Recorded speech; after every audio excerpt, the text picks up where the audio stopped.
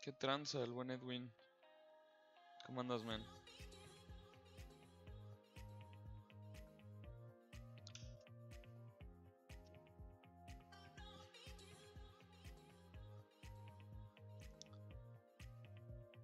¿Qué dice la mala vida?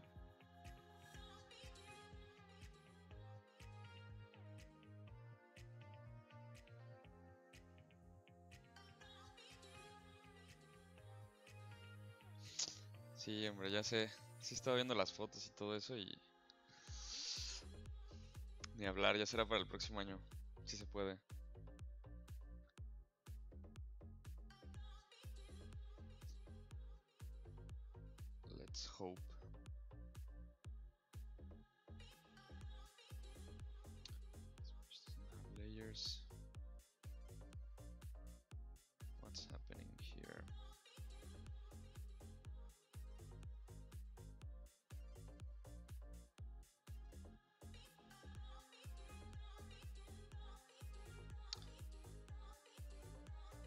Sí, sí vi los videos y vi todas las fotos.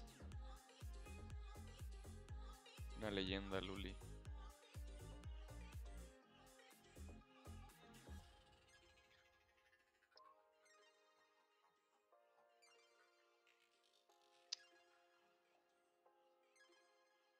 Estuvo mejor de este año que el del año pasado, ¿no? Por lo que vi.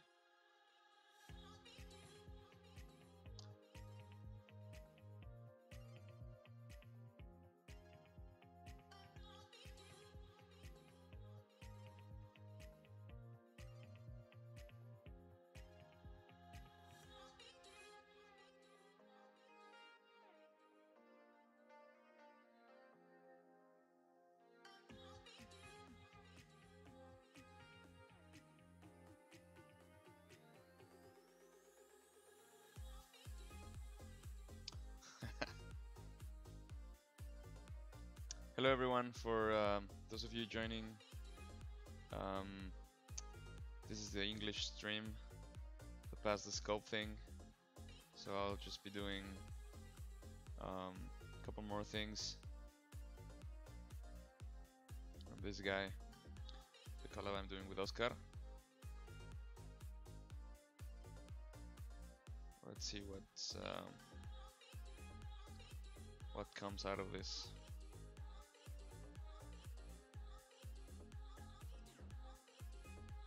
No, pero sí fue un montón de gente más este año, ¿no, Edwin? Comparado con el pasado.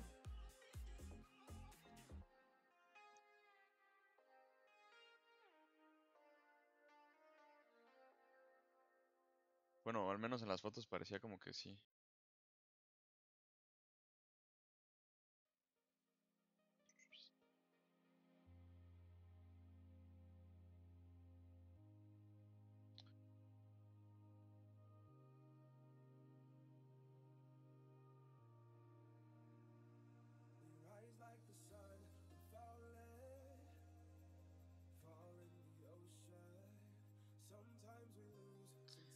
Yecatl, ¿qué onda?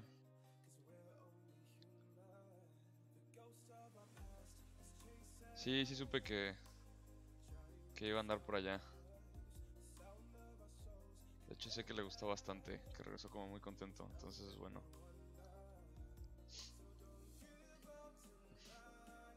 Nadie puede vencer a Oli, es una maldita leyenda.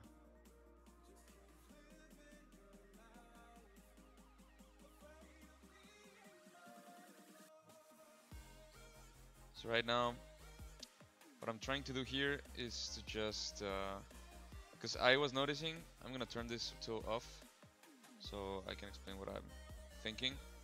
Um, I was looking at the silhouette, like I, I really like the shapes, but I'm I'm not super happy with the silhouette yet. So like for example this area I think can be improved and maybe the head a little bit I don't know but also like all of this here it's very empty so I'll be adding stuff to here like I don't know exactly how or what it will be like I'm thinking some kind of um, like flesh feathers not kind of like feathery feathers but like fleshy feathers to integrate them into the body. I, I'm, I don't know. Let's try this.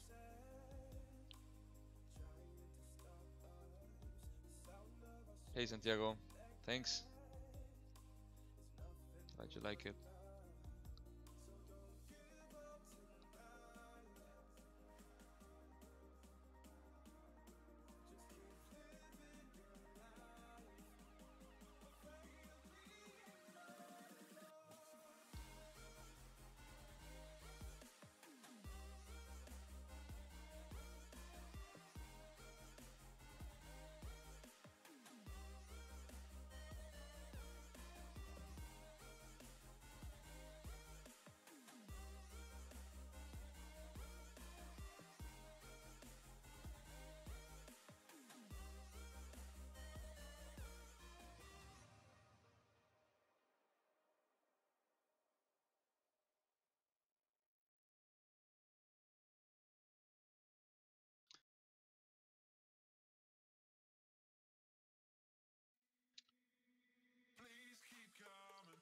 To see like what type of um,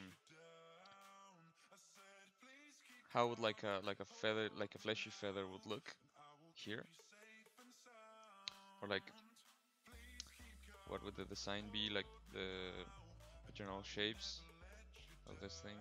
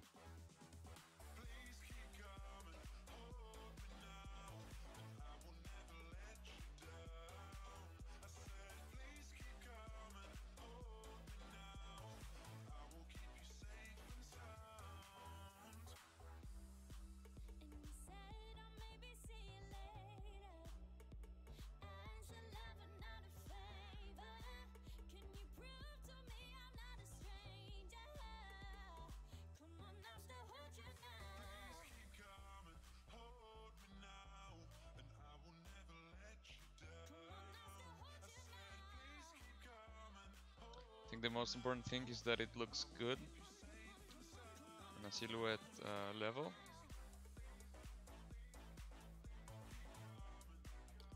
So we'll try to um, aim for that.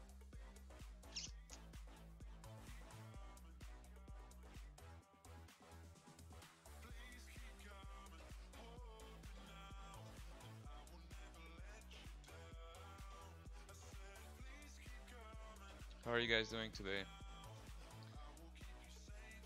How's life been?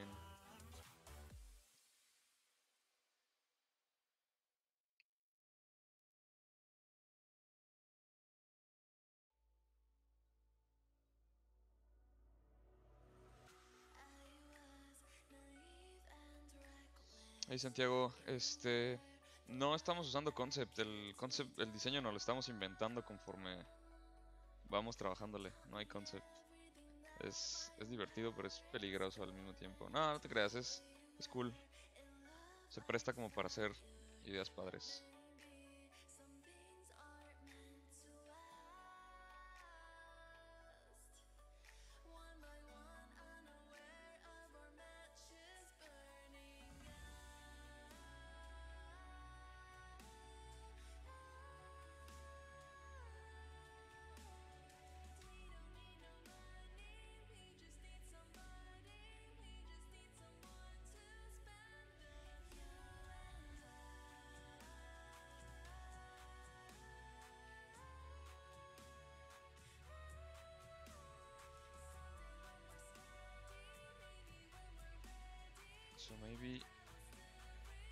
Thinking maybe this would be like the top one, like closer to here.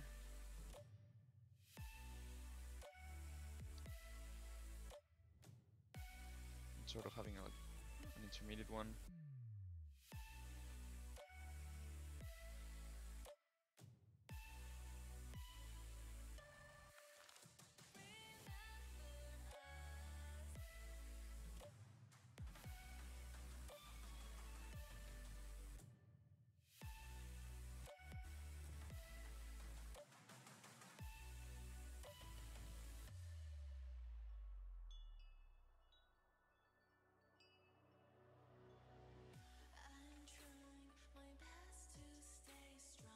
¿Qué onda, Oscar? Sí, hablo español. ¿Cómo andas? Hablo español, pero este stream es el... Tengo dos streams, uno en español y en inglés, y este es el de inglés. Pero siempre termino hablando los dos. So, um, there's always like a lot of crossover between Spanish-speaking people and English-speaking people. So even though I'm, I'll be speaking like mostly English, if you guys want to comment in Spanish, it's fine.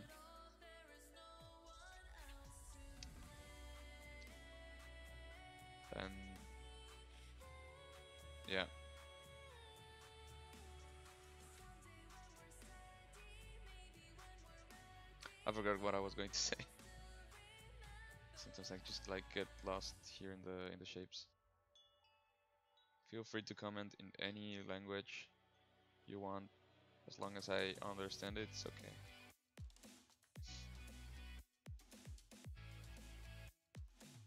¿De dónde eres, man?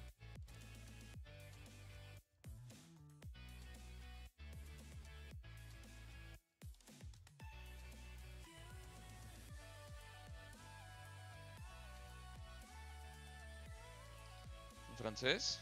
Pero ni me vas a entender. Así podría, pero mi francés es horrible. Todavía no.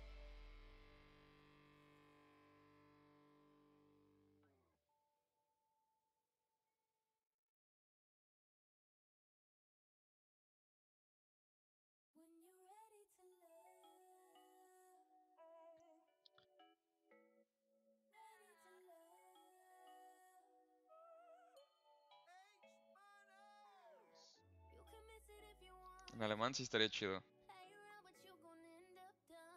Nomás necesito practicarle un poquillo antes, pero sí estaría cool. Tal vez algún día. Ay, qué buena onda. Yo también igual soy del DF. Del buen defectuoso. Sí, échalo, men. Ahorita que acabe el stream, lo checo.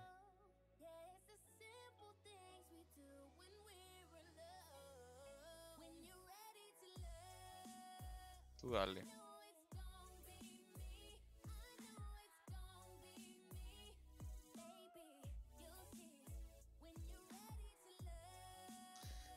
Sí, es que este, no sé si alcancen a ver en la. Según yo sí se ve en el stream, pero tengo el chat, la ventana del chat. Y está jalando los comentarios de Twitch, YouTube y Facebook. Entonces por acá ando con el buen Edwin igual cotorreando el anda en Twitch. Entonces está chido porque puedo verlos todos y e igual la gente que lo está viendo puede checar lo que está poniendo todo el mundo, entonces está cool.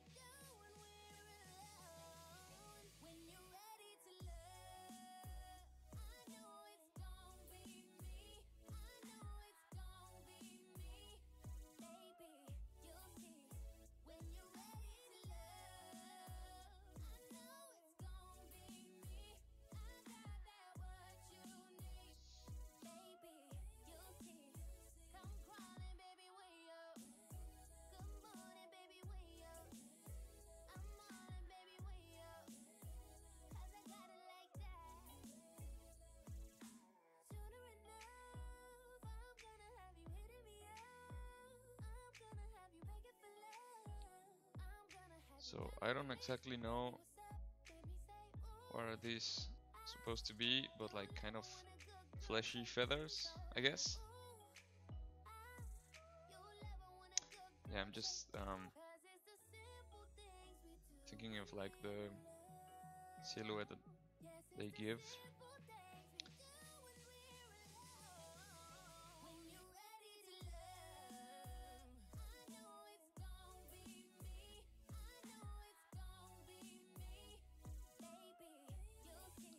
Hey Frank. What's up? How are you, man?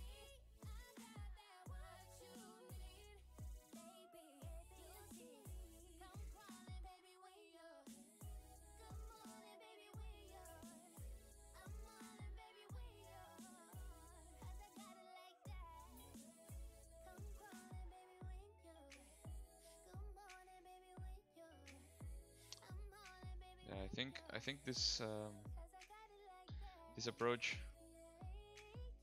or like this this idea of um, trying to add things will work out.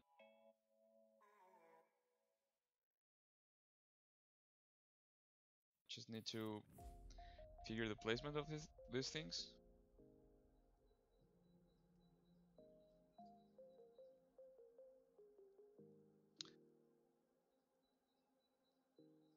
Órale, qué buena onda. ¿De qué es la historia que estás escribiendo?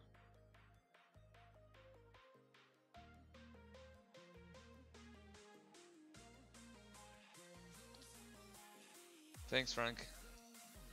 Appreciate it, man.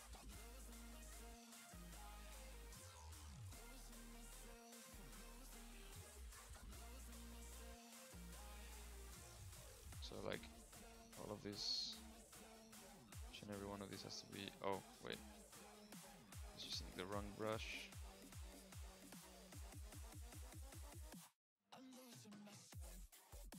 Slightly different. The other ones.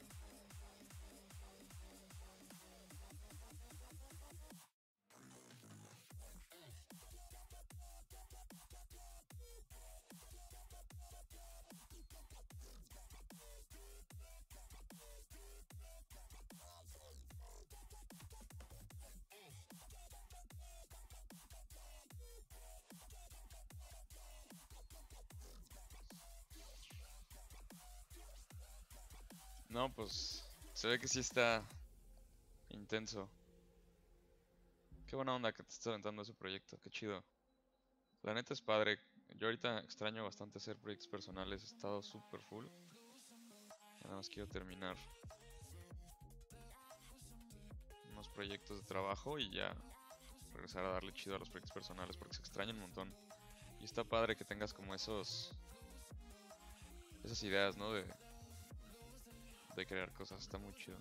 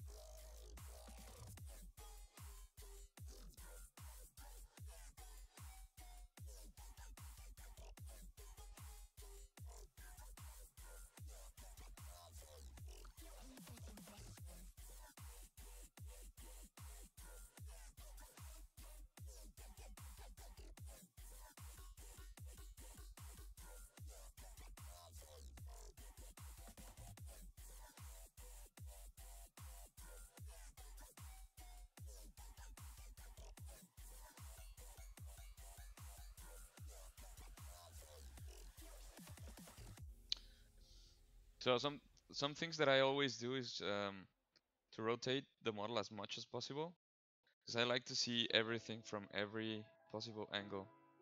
I like to really um, also like I was I was working in orthographic also though. I like to um, to really take a good look at, at everything that's going on and um, really explore it.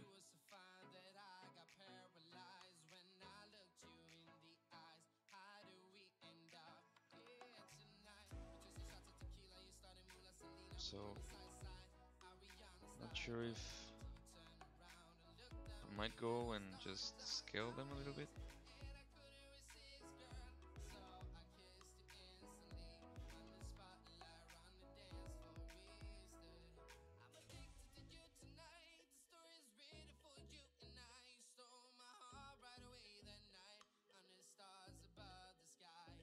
Ay, qué buena onda.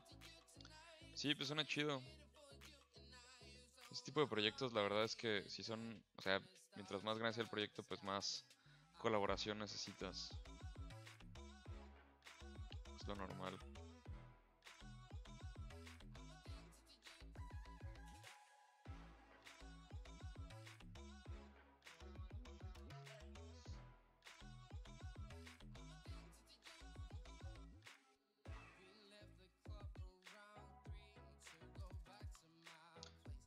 Try to put this in here like um, in the meantime to um, connect it later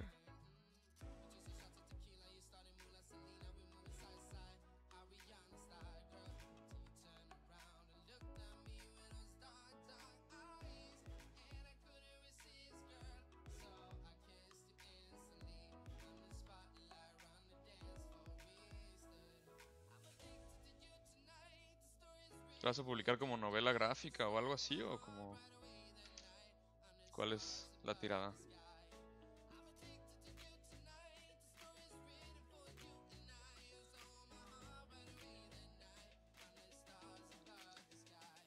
Just gonna give it a little bit of uh, more volume here. This thing.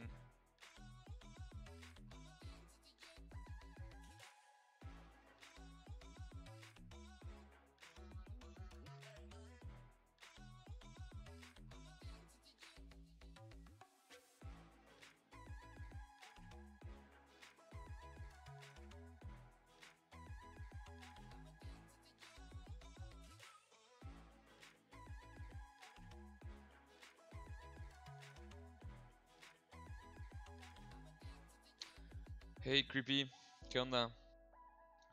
Buenas noches. ¿Cómo te va, man? So lots of uh, Spanish-speaking people tonight, which is cool. I'm really struggling right now because I had like the biggest lunch today, so I've been like sleepy for the past few hours.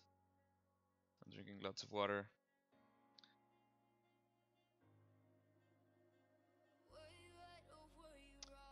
To um, try and keep awake. Stay or do I want you gone? Been asking myself all night long. Are you the one? Qué buena onda. the one? Novela gráfica, corto animado y juego de mesa. Órale. Make you believe or make you see. Pues mucho éxito con tu proyecto, me suena que está Not the one for me. eh, que, que abarca bastante, entonces te deseo mucho éxito toda la empresa de aventarte ese super proyecto. Eh, Creepy, ando haciendo un este es una colaboración que estoy haciendo con Oscar. El nombre del stream es Past the Sculpt y estamos eh, la idea es esculpir algo entre los dos. Un rato yo en mis streams y un rato él en sus streams y ahí nos la llevamos de ida y de vuelta y como que con este no planeamos nada, simplemente empecé a sketchar algo y luego Oscar le vio como cara de pollo, yo puse estas como brazos, como las alas y le vio como cara de pollo y de ahí lo decidimos hacer como un pollo mutante. Entonces en eso vamos.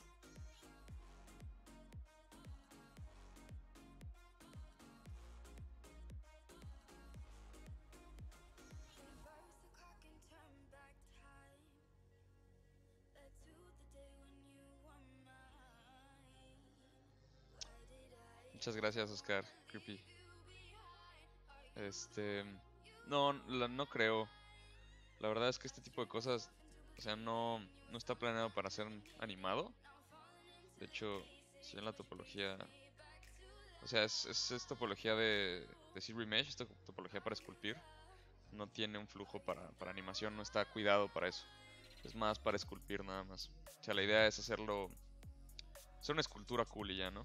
No hay, en mis otros streams, eh, los que son en español, estoy trabajando un personaje que sí es para producción, que sí planeo eh, con topología así como para animación y eventualmente rigarlo y esas cosas. Entonces, Igual si quieren calar eh, esos, streams, alterno entre una semana en inglés y otra semana en español. En teoría este, este, este- esta semana es en inglés. Se supone que ahorita. Pero no hay bronca.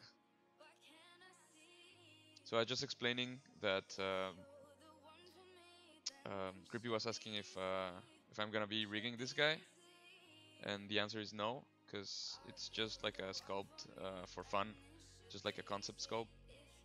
Um, and even the topology doesn't work for animation purposes. We didn't plan it for, for animation purposes. It would have to be like really redone and, and sculpted in a pose that's um, much more suitable for animation. Ah, okay, perfect. Yeah, I know a, lo- a lot of people actually speak English, but there's um, there's always someone who doesn't. So I, I try to just like answer questions in in both,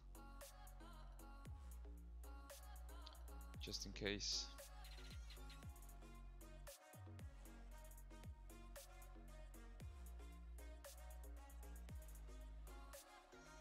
I want this this sort of thing, this part like to look like bony, but sort of uh, fleshy as well.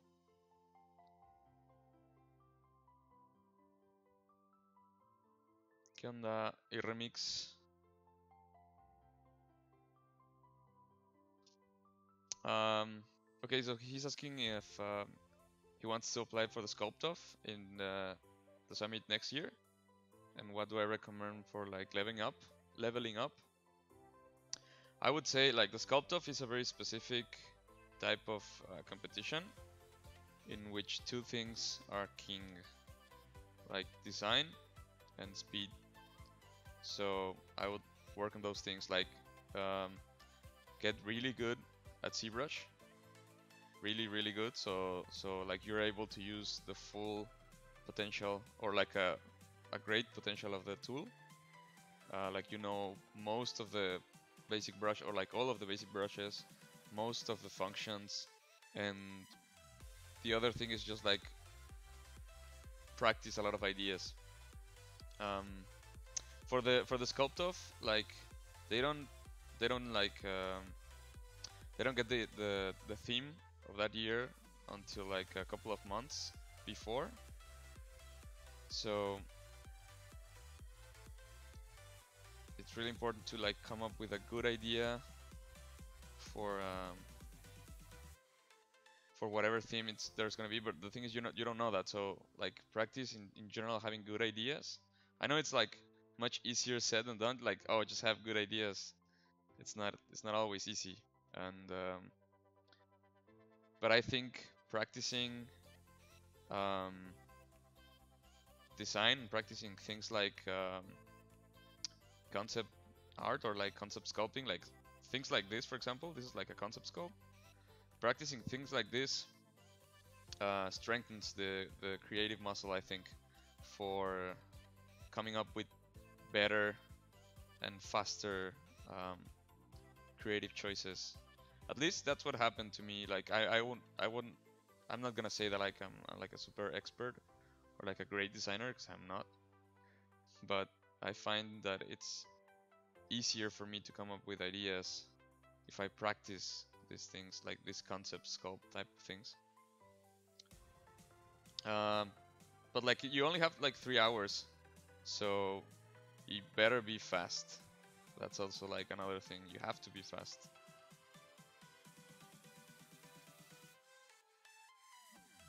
But it'll be so so cool um, to see. Like I'm really excited for this year. I have a, a lot of friends who are participating, and I'm gonna be there uh, in the summit. So it will be super cool to um, to actually see what the theme for this year is and what everybody does in the end.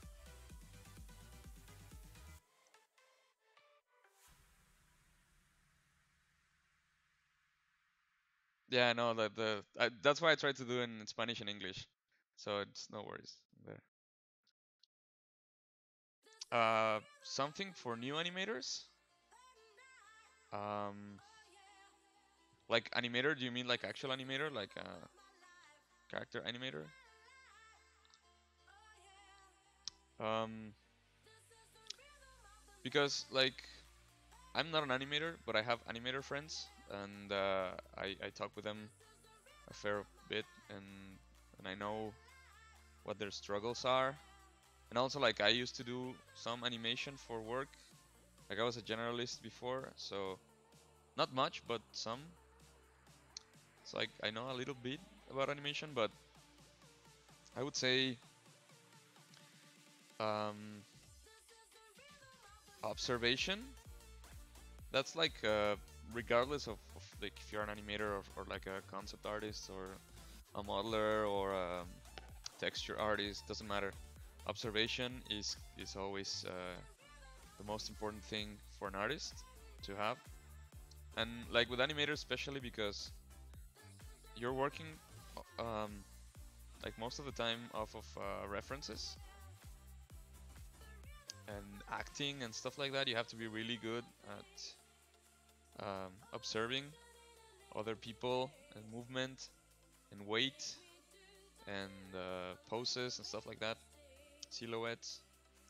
And the other thing is um, to always be mindful of studying the fundamentals of whatever you're doing. Study always the fundamentals. Like don't don't think um, that you can take shortcuts because you really can't and don't think also like uh, like you can sacrifice quality for speed. Like it's really important to get the basics right and the fundamentals can be always different between different disciplines. So for an animator the fundamentals might be like the the 12 principles of Disney animation or um, things like weight and uh, uh, squash and stretch, uh, staging on the shot, things like that. So I would say, yeah, focus on that. Focus on the fundamentals and uh, what was the other thing? And on observation. And whatever you do, you you're gonna be fine. That's the most important thing that I've I've discovered, or like not discovered, cause or like observed on on other friends and myself and um, other people in the industry.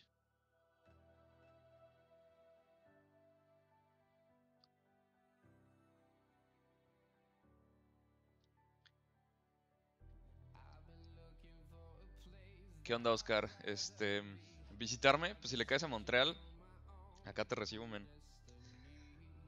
Acá ando en Montreal, chambeando.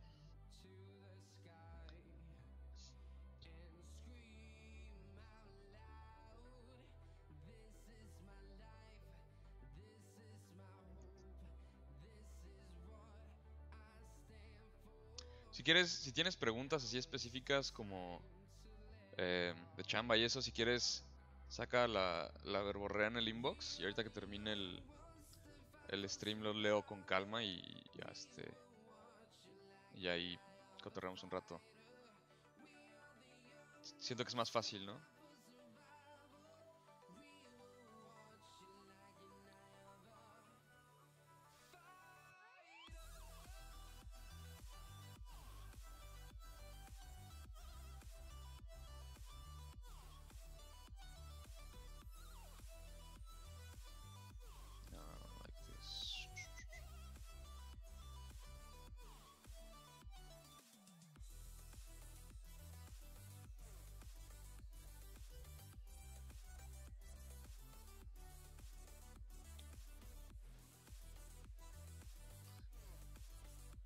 Would say like if you're still not um, at school, creepy.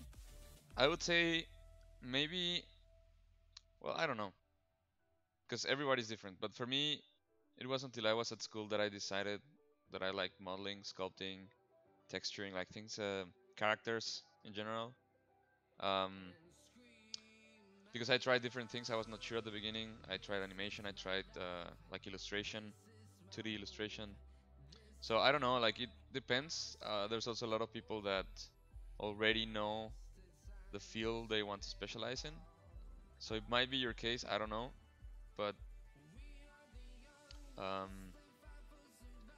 like be open-minded because you never know if something else will grab your attention. Um, lighting is really cool, and it's something that I neglected for a long time. So I'm I'm just learning it, like uh, like really in this past few years. So that's something cool, and yeah, it also depends on like how your brain works. I think, because you I think you tend to normally like gravitate to things that you're good at and then you start to like specialize in those things and become even better and so for example in my case um, whenever i just like i see like a movie or a game or sculpture or anything like that my brain always focuses on the shapes and the forms and the anatomy and the silhouette and things like that and i have to make like a conscious effort to uh, think about the lighting for example like in a shot I really have to think like, oh, I have to watch out for the lighting to pay attention to that. Otherwise, it just like passes by. So, and and and I don't have to to make any effort to just like, oh, like the anatomy here is really cool, or oh, these shapes are really interesting, or oh, the silhouette here works really really nice. So that that also can be like a, a thing. No, you you don't choose the the thing, the thing chooses you in a way. I studied in Mexico. I studied animation and digital art. Uh, got my degree, and then started working there. And uh, I worked in, in. I was really uh, fortunate to, to to have worked in uh, in different things, uh, different fields. No, not fields like or I don't know how to say it. Like um, I've done work for films, uh, TV commercials, internet commercials, uh, 3D printing, worked in video games also. Um, I haven't worked in VFX like per se, but kind of almost. I don't know, like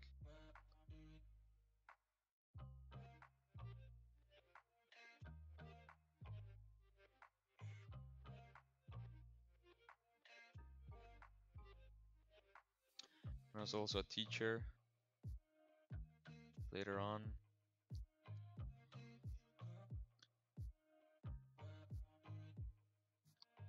Freelancer sculptor. Yeah, I've been like I've been doing a lot of different things. Um, I'm trying to like recently. I'm trying to focus more on on um, uh, like uh, improving my skills uh, when it comes to like characters, all the character pipeline, like modeling, sculpting, UV mapping, texturing, shading, uh, even like fur and clothing, rigging, everything that has to do with characters except animation. I really want to focus on that, and uh, and keep sculpting. Like I really really like sculpting, and uh, unfortunately, like in the industry, it's something a little bit um, difficult. I won't lie because the market is oversaturated with um, with ZBrush cowboys, as the guys from uh, FlippedNormals call them, like people who only use ZBrush and nothing else. And um, since I work in, in production, like in, in film, in animation, movies, and um, like yeah, people who only know how to use ZBrush don't really have a place in the production pipeline except for like maybe concept art. Um, or like in, in very specific bigger productions, maybe just like creature sculpt or or or face sculpt or I don't know, things like that. But for most people and for most studios, you have to be at least a, a decent modeler as well. So I really like sculpting, but uh, I realize that like for to stay current in the industry, you also have to be a, a like a well-rounded artist. So that's why I want to be like a a really well like character generalist in a way. But also like keep sculpting like i really like just like wacky creatures like this uh, play with shapes and all that.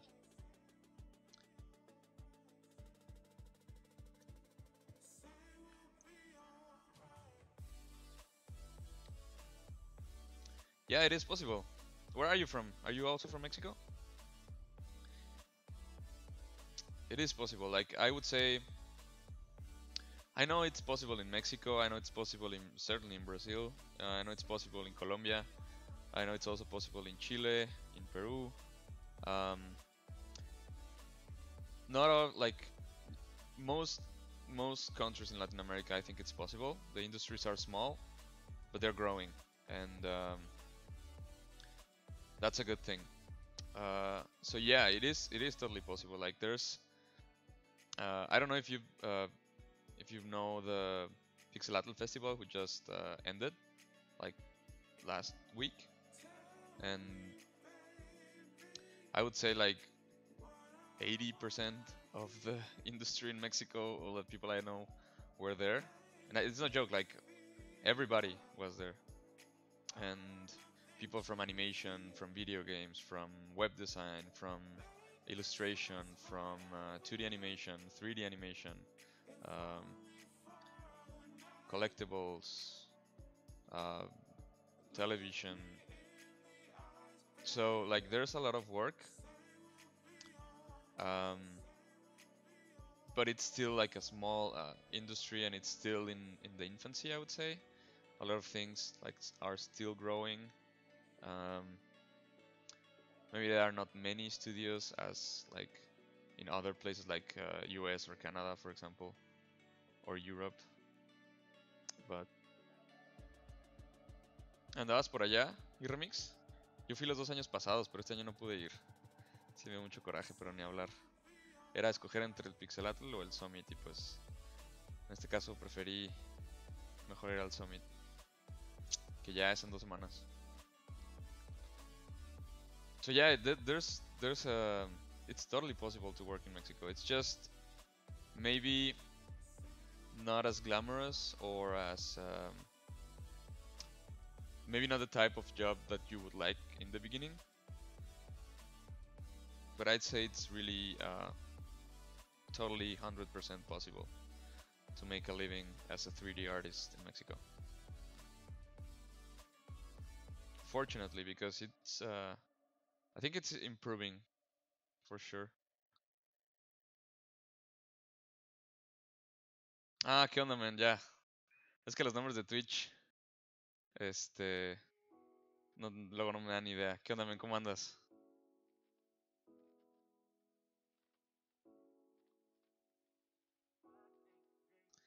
¿Tuviste tu venganza con el Uli?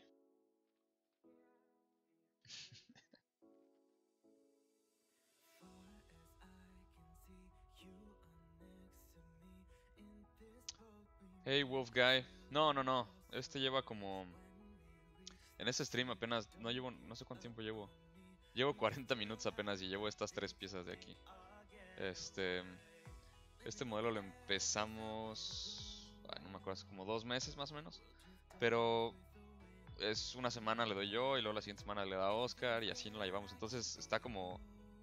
No, no va muy apresurado. Pero ahí la llevamos.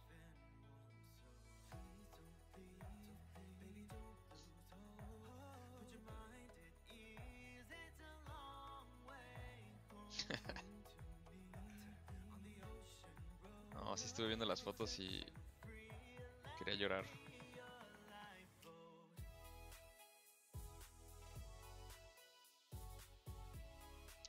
Sí se ve que se puso muy muy bueno este año.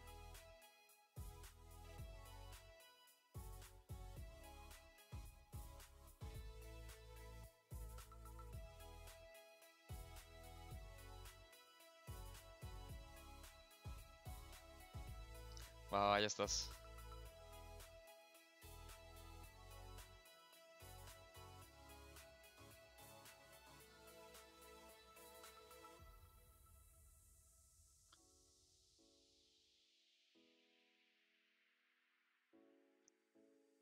So yeah, I don't know, uh, this flashy feather wings things. I like them, and I I don't really want to think like um, too much about what they really are. Just kind of uh, make them bony and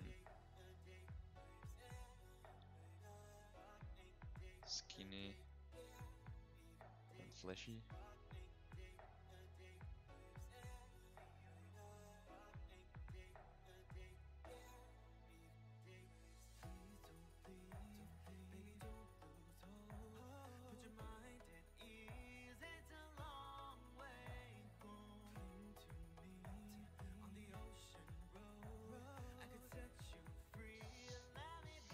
Art schools in Mexico? Um, well, it depends. Um, yeah, it depends. I would say there's there's range for everything. Like, I think there's really um, there's a lot of courses and yeah, like um, workshops and stuff like that, which are really really cheap, uh, but maybe like not proper like uh, degrees. And there's also like from from fairly cheap to really expensive, depending on on the type of school. And I think I'm not sure, but I think like also like public universities are also having like this at least a little bit of 3D with um, with like graphic design or architecture programs. I'm not sure. Um,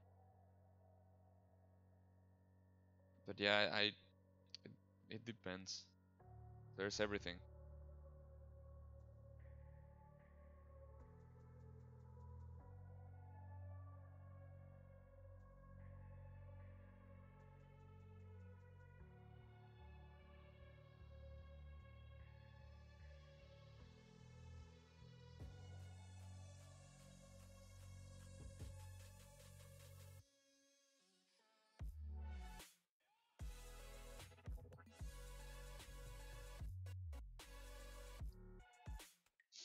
Ah, no, el, no, el Bu ya tiene un rato que no le doy. Este, ahorita quiero terminar antes el otro personaje, el ninja ese, pero eh, usualmente alterno. Entonces, una semana es en español con el ninja y luego otra semana es Pass the Sculpt en inglés. Y entonces ahí la llevo, por eso esta semana tocaba darle a este. Pero sí voy a seguirle la, la próxima semana con el otro.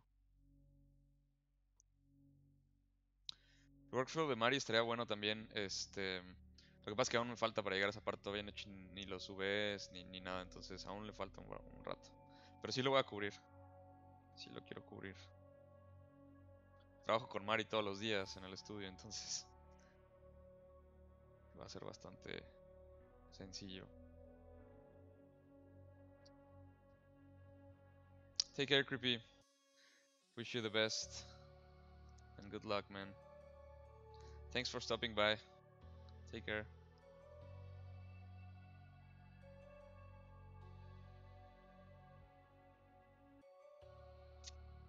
Okay, I think these things work for now. Let's work on this one. Because I was feeling like this this part was really empty. It's just like the muscle and nothing else.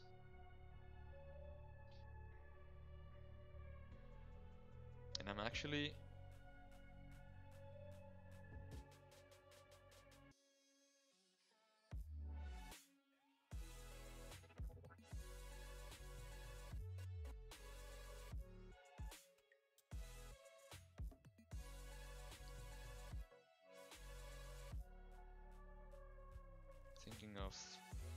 putting like another one here in the bottom. I don't know. Is fourth too much?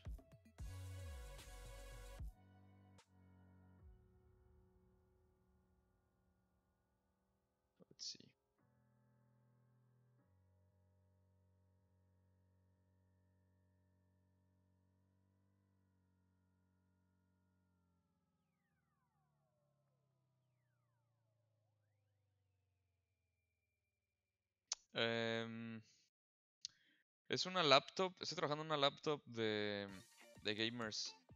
Este, cuando me mudé a Canadá, tenía una máquina de escritorio en México, pero por logística y por comodidad y todo eso la dejé allá. Este, no era, no era lo más cómodo traérmela por seguridad de que no se fuera a maltratar en el viaje tan largo y por los costos también. Entonces la dejé por allá y me compré una laptop pero es una laptop de esas de gamers. Es una MSI, MSI. Este y tiene una tarjeta de video de es una 1070 GTX. El procesador es un i7. eh, tiene 16 de RAM, creo. O sea, es una máquina buena, pero no es nada espectacular. Es como. Es el estándar, como más o menos de ahorita. eh, que. Que la mayoría de las máquinas para 3D funcionan. Y está chido porque. las máquinas de gamers eh, tienen muy buenas especificaciones para 3D. O sea, funcionan muy bien porque tienen procesador y, RAM y la tarjeta de video, entonces está muy cool. ZBrush únicamente toma en cuenta procesador y RAM. La tarjeta de video no importa, entonces si lo que te interesa nada más es ZBrush, no te, no te preocupes por la tarjeta de video. Pero por ejemplo, ahorita como están mm, preguntando hace rato de Mari, este, para texturizar, Mari es 100% tarjeta de video casi. Entonces, bueno, no, no 100%, pero o sea, sí, sí es una parte muy importante. Entonces depende de cuál quiera ser tu, tu workflow. ¿Qué onda, Diego? ¿Cómo andas, man? Gerald, what's up?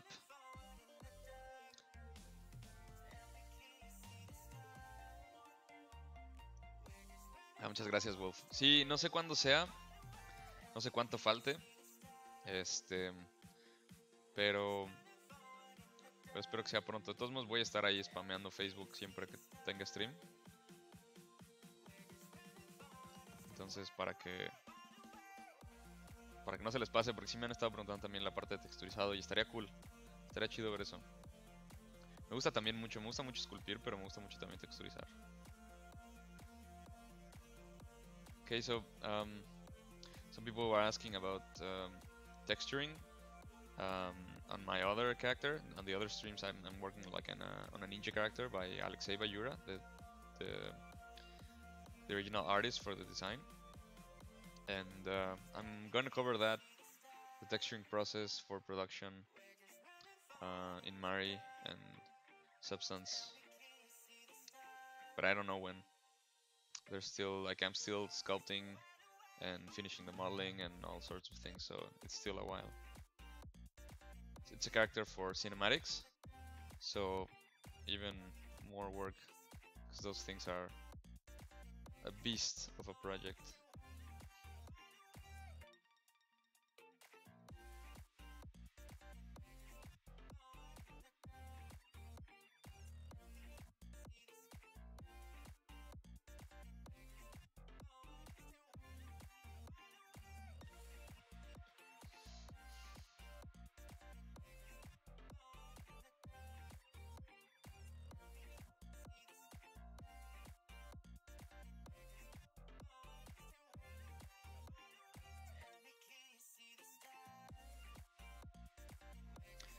Gonna look for some references here to um,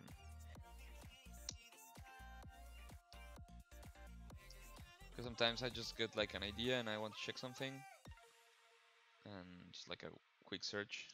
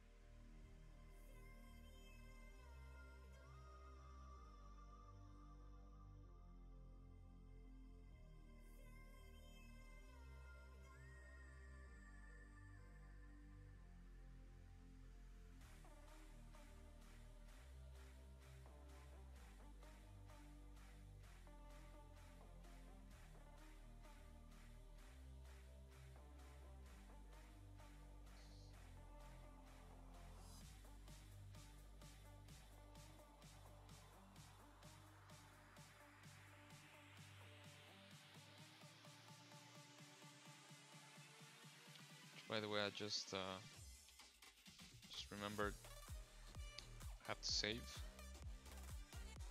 So let's do that.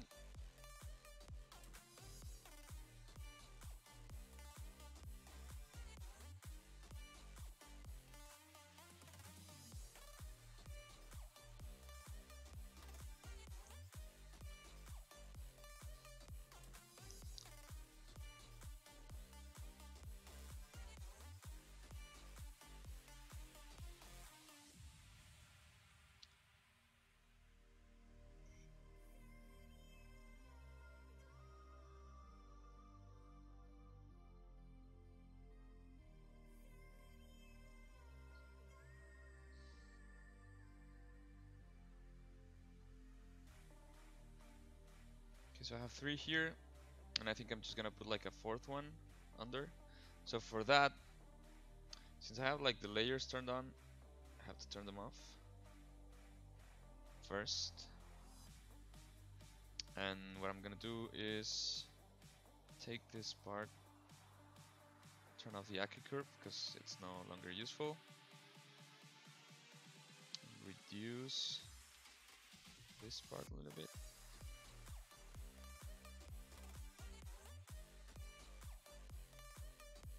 Just a little bit.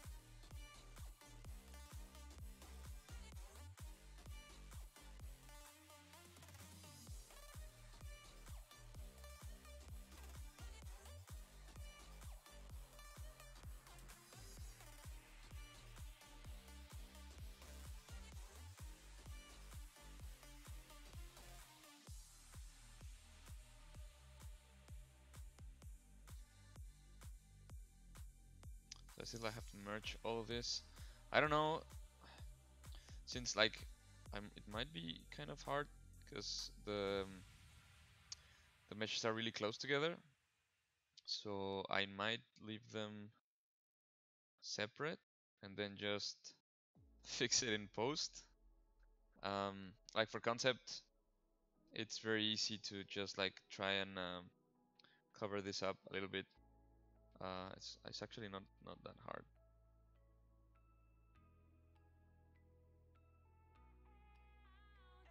So otherwise it would be like quite hard. So I, I might just leave them separate. It's important to have it like um, in symmetry. At least for these things.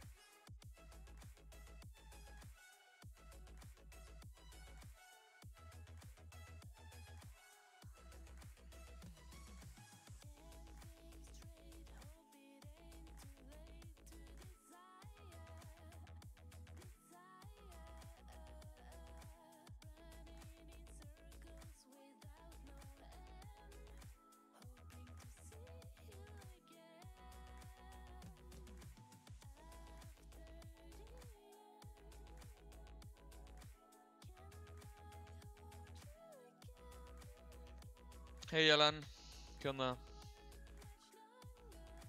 How's it going, man?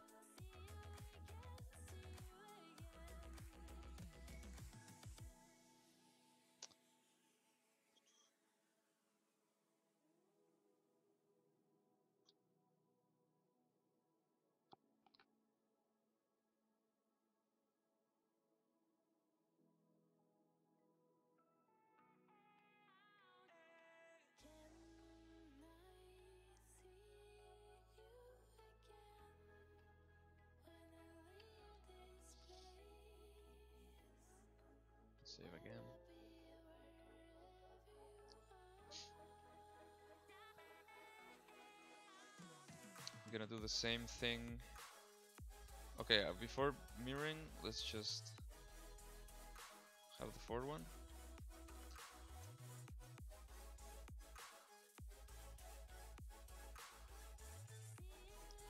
In this case, this, this one's gonna be quite different than the other ones.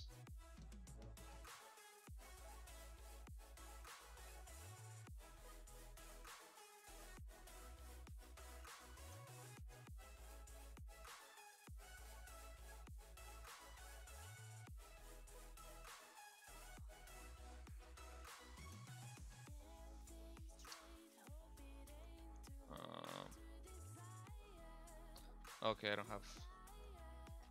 Um, no, no, don't freeze anything.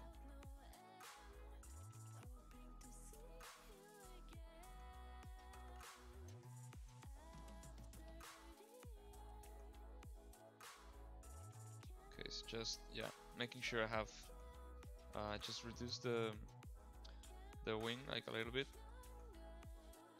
Hey engine 3D. Yeah, I never I think I never get these Twitch names right. What's up? It's just like a smaller wing. And I'm just gonna fuse this one here to make it look like it's the same surface.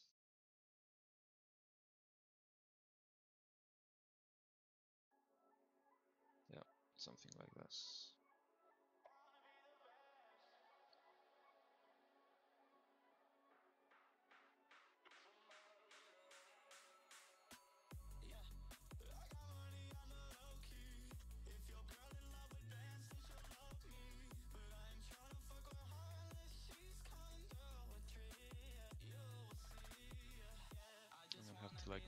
This.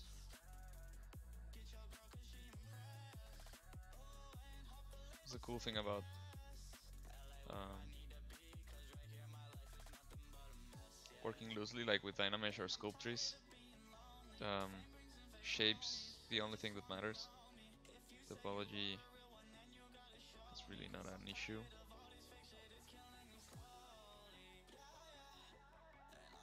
I just have to be careful not to obstruct these like finger type things which I have here. So I'm gonna try and use like I'm gonna go all the way down to the first subdivision level so I can use um, move topology.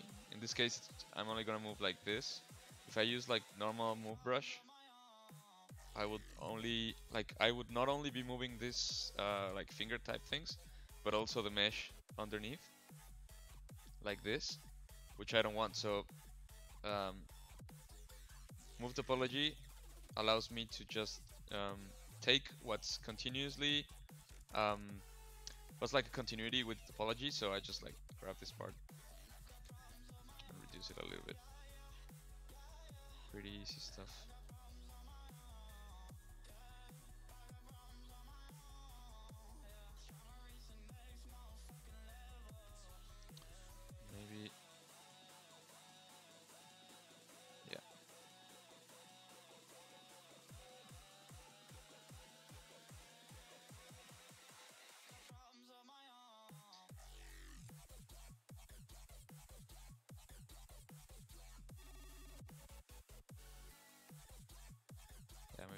This.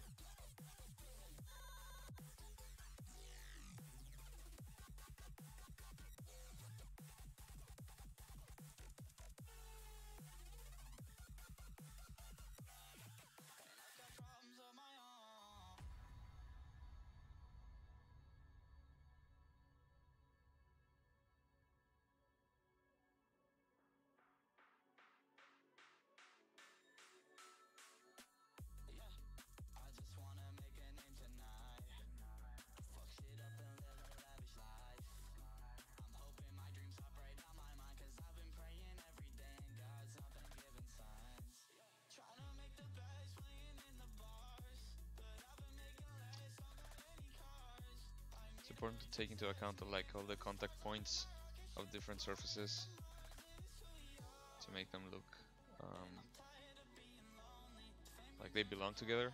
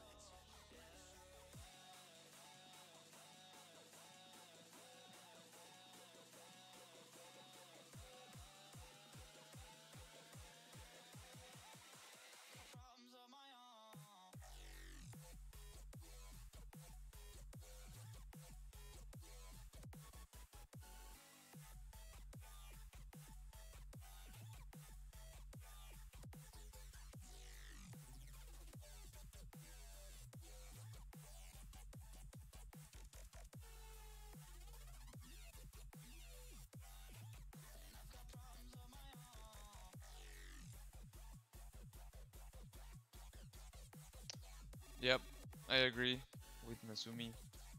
That is very true.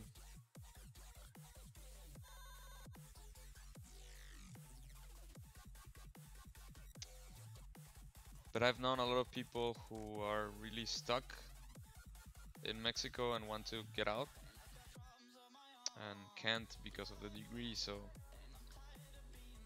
yeah. I won't say it's like one is better than the other, it's just like the way it is. But you said it exactly. It's all about the work in the end.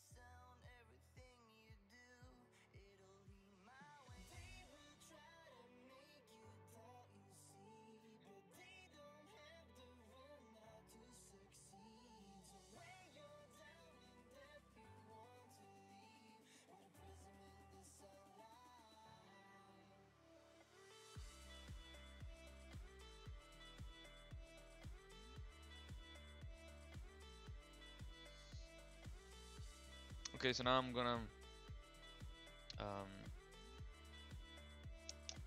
mirror everything. Across the X. I think I think these things actually work better than uh, what I imagine, and I think they add a lot up to the to the silhouette because uh, I was feeling like this part was really lacking. And now the question is, I'm not sure about the head. I really like the shape of the head from the profile view. I really like the the silhouette and the shapes and the volumes, but from the front, I don't know. It's still giving me like not the best. Um, it's like I, I feel it's like really squared in a way. I'm gonna try um, something with the transpose. I don't know if it will work.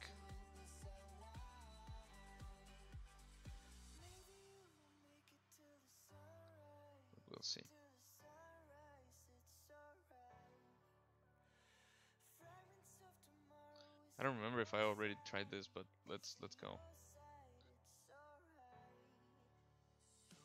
Because it usually like takes a lot of uh, time between sessions, so I forget. Um, like the things I I've already tried or not. So I'm just gonna try and move these things, uh, like the the general eye area a little bit further out just to kind of break the the like the straight line and the have like more of a curvish flow to it.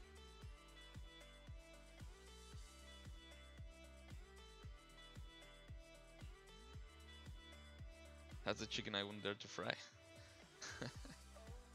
I don't know, maybe like the the future um, genetic engineering make it taste like extremely delicious even though it's super gross looking. Who knows? Could actually be better. Okay let's let's finish the, the post like that. See if it works.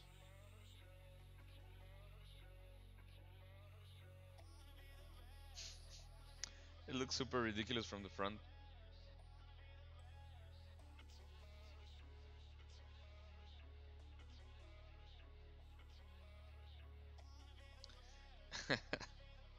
I know, like it's it's really hard to imagine. How can you even top things like roasted or fried chicken? There's a place um, really close from my apartment. Uh, well, fairly close. I went there last night for a, a friend's birthday, and uh, it's like Portuguese chicken. It's amazing. I don't know if you guys have ever tried poutine, but it's like the the typical food from um, Canada, but from especially from from Quebec, and it's uh, they have like this poutine with uh, with this chicken and Portuguese chorizo. It's amazing. It's really really good. I don't know if I like the the new eyes like this. I feel like he looks really weird. I don't know if that's a good thing. Going to revert the transpose for now.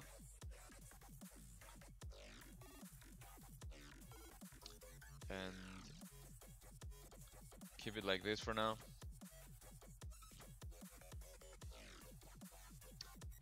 And then if I think of something else, I'll try it again. But for now, I think it's because that's the thing. Um, you might be stuck in a in a um, in in certain areas of the model or or like certain stages of the process, and then eventually something clicks and you get it. But for now, just we'll keep trying later. You're vegan? That's cool. Um, I have a, I have actually I have really few vegan friends. I have a couple, but not much. And um, so, do you like, for example, like to have like substitutes for chicken and, and meat, like stuff like that, or mostly um, like just natural vegetable based foods? Because I'm always curious about that. Like I know a lot of people who are vegan and, and they like to try to replicate the taste of meat or chicken which I totally understand like it's it's really good and I understand the reasons for for being vegan so I think it's pretty interesting um, to think things like that. I really like what Oscar did here with uh, all the details in the face. I think it looks really nice. I'm gonna continue um, like detailing see what I can come up with.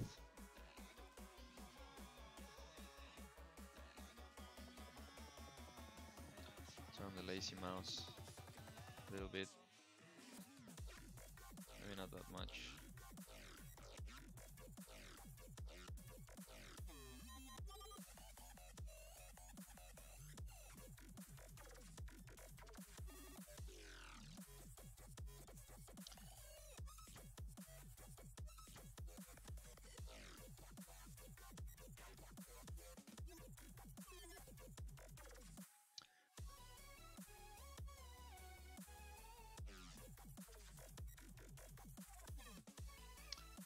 Also like another cool thing i was listening to a podcast the other day and um, they were talking about like uh, lab grown meat and like if if if people would change to to lab grown meat instead of uh, factory farmed meat or or even like normal farmed meat just meat in general like uh, lab grown meat like uh, ground muscle tissue. And I think it like it was a really interesting discussion of um, like the ethical implications and uh, the taste of it, and I don't know. I think if if the thing itself comes to be like similar in taste and texture and nutritional value uh, of the of the real thing, I think I might try it and, and even change it. I why not? What do you mean with that?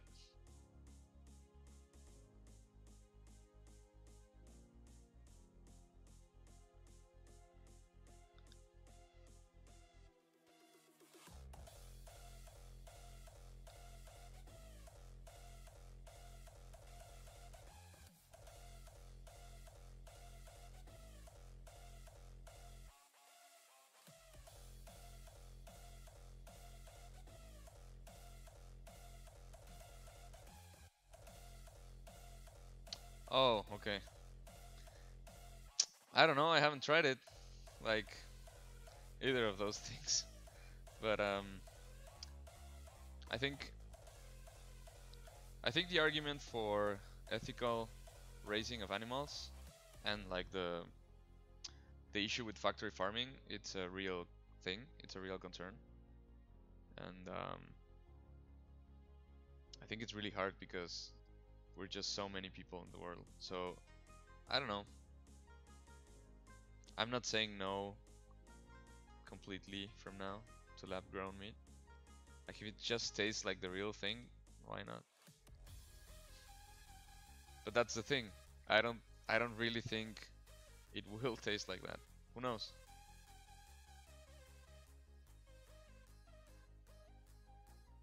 Maybe we'll have like just sacks of meat without brain or with a, like a very basic brain for just like vital functions without a real like a real nervous system or, or like conscience. So it would just be like sacks of meat for human consumption. That's also like is that ethical to do? Is that um, something desirable? I don't know. But it's interesting to think about those things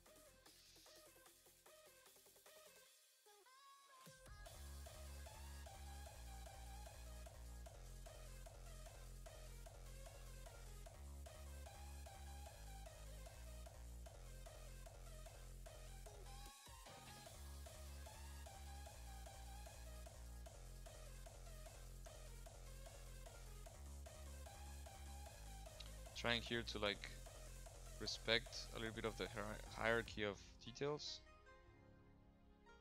But like maybe having them transition easily to this part without breaking too much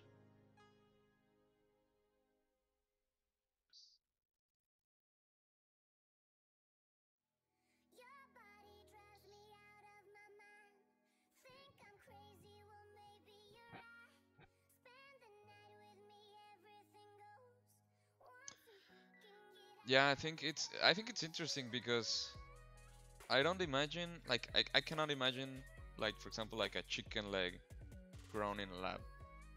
Like I, I don't think it's going to happen like that or like a steak. Because for that to happen you need to have like for example let's say a ribeye it has a really defined structure of the muscle and fat and like it has this this uh, particular shape and I don't think you can replicate that in a lab.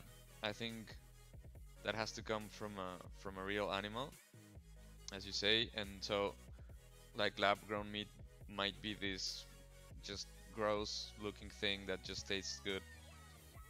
Um, just like organic tissue, um, that's equivalent to like muscle, the same properties of a muscle, but just just not a real muscle. I don't know.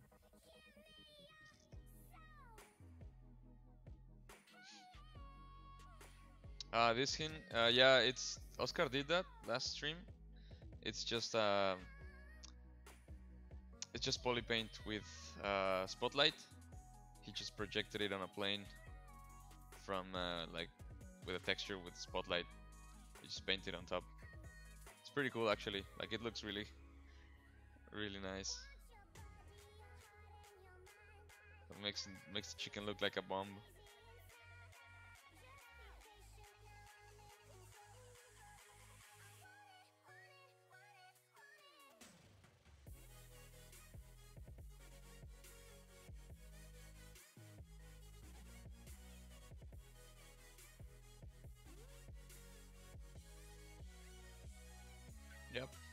Worries.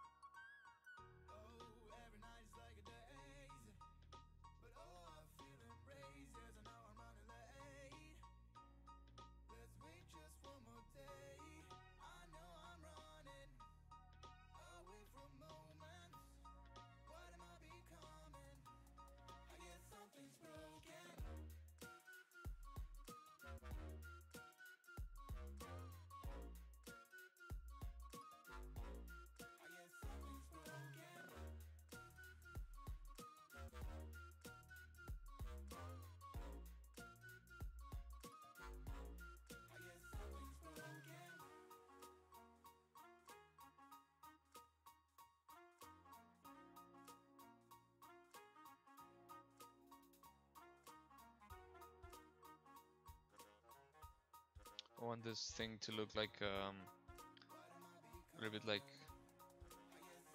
folded loose tissue in a way.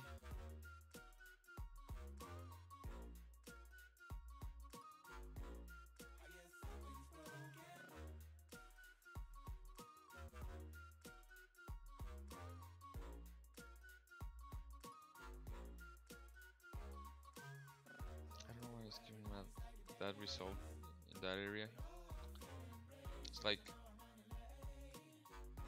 a little bit of weird how the the brush is working there. I don't know why.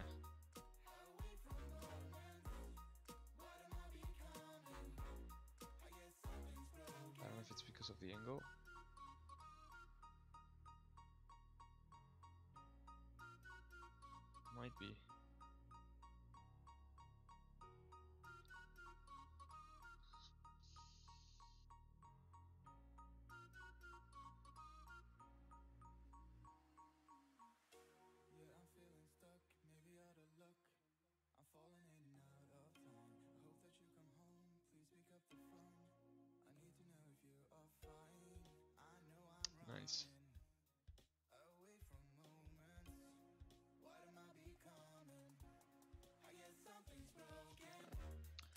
Longer question. I was making a couple of cartoon characters, and in the end, I have pretty dense.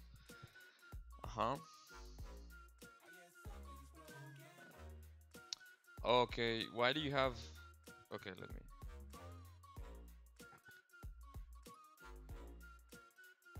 Uh, were you doing the cartoon characters like with Dynamesh or Sculptris or something like that? Uh, like a like a sculpting type of mesh? Because uh, that that's uh, that's actually something that happens a lot. I'm going to clone this tool to show something. And I'm going to delete all the layers in this clone tool. Because, yeah, that's something really, um, okay, it's it's fine. It's fine that you use the Dynamesh. The thing is, you're gonna have to retopo it. But you can do like a, if, if you, if you only want to pose it, you can use ZRemesh. It's fine. If you want to animate it and rig it, you have to use uh, retopology by hand. You have to do it the manual retopology uh, by hand because um, it has to be a certain way depending on the type of character. You need certain rules for the topology to work in animation. But if it's just for posing inside of ZBrush, I think you can get away with just using ZRemesh. Um, this one here in geometry ZRemesh. Uh, but let me explain what's happened to you. So I have like five subdivisions here, which is 9.147 million uh, points. Then just use um, ZRemesh. It's fine. But let me let me show you uh, what's going on. So like you have 9.147 million active points. If I subdivide one more time, I'm gonna have like around 36.5 million active points. And it still works fairly well. Like it's not like super laggy or anything. Um, it's also not super light but it's it's workable. And the thing that happens with ZBrush is that I'm gonna um, duplicate the subtool and for this one I'm actually going to um, resist uh, delete lower subdivisions So in this case, the 36.5 million active points that I have is my only subdivision. It's pretty dense. What happens with the first one? Show you with this one. If I ever try to move things, it's super. And this is not workable at all. And it's like really hard to do zoom and everything really like anything that I want to do it's like a pain. So what happens is like you uh, you have a like a super dense mesh and yeah no no worries it's actually a pretty common problem happens all the time when you're uh, when you're just starting and uh, a lot of my students also had this issue all the time. So like you lost the subdivision levels or you don't have any for some reason. The thing is ZBrush has to deal with this whole number 36.5 million at once like all the time constantly. So you're you're not giving it time to uh, to rest. Um, so in this case like with the original tool I still have six subdivisions so if you notice navigation is much faster than with this one the thing is when ZBrush like ZBrush is not a, a real 3D program it's like projection um, of a 3D object in 2D space. That's why it's like 2.5D. Um, it's it's kind of weird. But the thing is, can you guys notice like when I'm uh, rotating or moving anything, ZBrush takes the model and uh, actually shows me like a lower subdivision while I'm moving the thing, and then it builds it back up. It's super useful and actually necessary to have subdivisions in ZBrush because of this reason. Like if you lose subdivision, like for example, I'm I'm rotating this thing, and ZBrush has to calculate much less polygons for the movement, or or actually for the projection to show on the canvas. Um, cuídate mucho, man. Este, cuídate mucho, Rich. Gracias por, por pasar a, a saludar un rato. Nos vemos. Que estés muy chido ya. Al rato luego cotorreamos sobre, sobre el Pixelatl, man. Cuídate.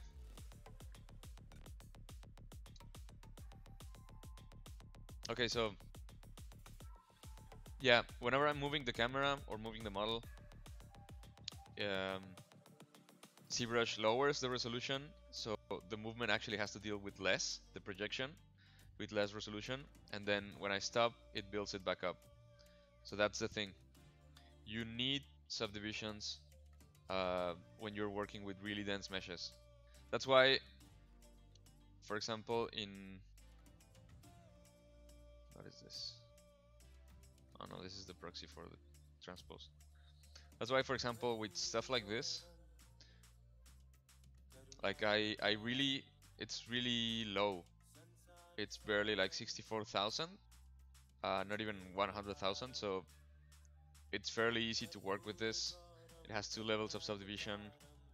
Um, that's why always when working with Dynamesh, Dynamesh is only useful up to a certain point and it's it's always when it when you work like from okay like every every model or every character you work on has like a hierarchy of shapes and you go you go from like the bigger one to the, to the smaller one from the primary shapes secondary shapes and tertiary shapes. So with the first ones the, the primary shapes you always have to work in lower subdivisions and that's why uh, and that's where dynamesh is, is actually really useful. After that after you've defined the, the primary shapes you don't really need dynamesh anymore or or like Sculptris Pro if you're working like for for production or for a clean topology or clean geometry. So in that case, you just need like the a ZRemesh. The workflow that I always use when doing this type of concept sculpting is start like for example let's say depends on, on what I'm doing but I might start with with ZSpheres or with Dynamesh or with Sculptris work the main shapes up to a point and once the main shapes are already defined, I would just use the, the ZRemesh, remesh the whole thing, have workable topology for sculpting, like this one. So here Oscar did a ZRemesh. And this is like, it's not the best topology, but it's pretty good for what we need. So it's it's working for, for uh, sculpting. It's nice. It's enough.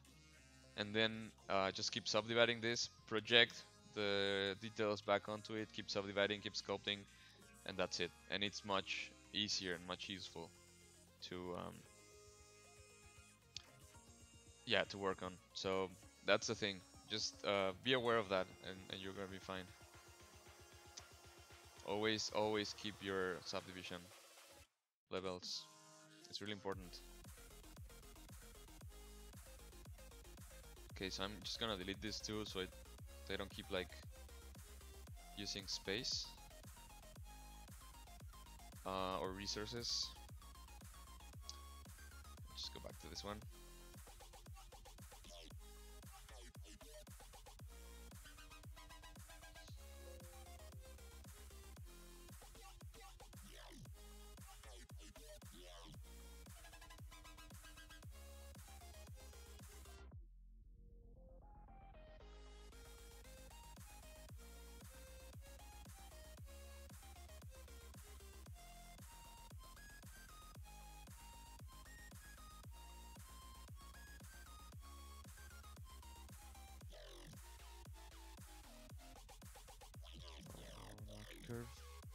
Gonna use, for example, in this case, just uh, 64 of resolution for the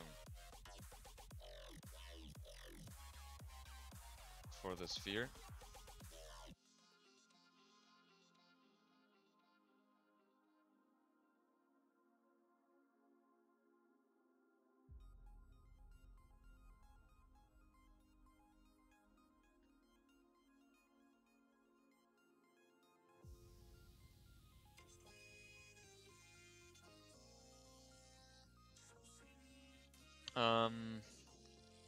The thing is, you should be using Dynamesh for merging pieces together, but at the very beginning of of the workflow.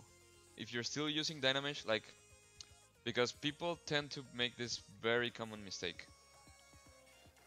I'm gonna show you what's up. I have this mesh here, the, the main body, which has clean topology, clean-ish topology. No, it's fine. Don't worry, it's it's actually fine. Um, I actually like to to explain things for some reason, um, and and this this type of questions came out all the time when I was a teacher, so it's fine. Don't worry about it. Um, so yeah, like I have this this mesh here with uh, clean topology for sculpting and subdivision levels. Okay, and then I have these wings here, these wings things, who also have like um, clean topology I mean, no, not clean topology, subdivision levels, but they started from Dynamesh. So let's say I want to to, to merge and and um, unify this to the main body mesh. So what I would do is first, okay, I'm going to save, so I don't um, do anything stupid, like a test version of this. What I would do is take the, the wings and merge them first with the main body. So like merge down. Okay. And you're gonna notice something first, first right away. Like since these things don't have the same number of subdivision levels, I immediately lost subdivision levels. Did you notice that? Like right now, the body had five and the wing had two. And then when I merge them, since it, it, it cannot subdivide the mesh for me, it made the, the original body lost to lose three subdivision levels. So it now has like two, which is not good because now it's slower. That's the first thing. So I now have this uh, mesh here together in the same subtool, just different polygroups, which it, it means I can uh, use Dynamesh. So let's say I want to keep the NUF resolution. So I would put like 256 resolution and then just do Dynamesh. It will ask if I want to like freeze the subdivision levels, but I put no. And that's the thing. It did the Dynamesh, but I lost completely all my subdivision levels. And I suspect that that's what you're doing. So now, for example, these things are already merged, and I can now sculpt them um, and integrate them, no problem. It's it's like it's merged, but now I lost all my subdivision levels. It's really important. Once you have subdivision levels, you cannot use Dynamesh because it, this will happen. And with my students, I had like all the time they were trying to add more pieces after they've already done the ZRemesh and so they were constantly losing the, the subdivision levels with Dynamesh. Dynamesh is really not just like a magic tool for just adding more pieces uh, over and over until like you're satisfied. Um, it has to be used at the beginning because because of this thing like the resolution with Dynamesh is it's really more useful to, to be used like at lower levels instead of higher levels and um, like if, if you were just working with this in a single subdivision level just like feel free to keep adding as many pieces and things as you want but once you have already subdivision levels like Dynamesh is it's it's gone it's out of the question at least for that character so I hope that helps if you're stuck with this, you have two options. Um, okay, no, that you basically just have one option. Like, your option is um, duplicate the mesh, the main mesh. Um, get a ZRemesh on the on the duplicate, um, like a retopology remesh with clean geometry, and project the details back to it while subdividing it. That's basically your only option. And that's the thing um, um, that you will get like your details back into the mesh exactly like if you add something later uh, like for example let's say here.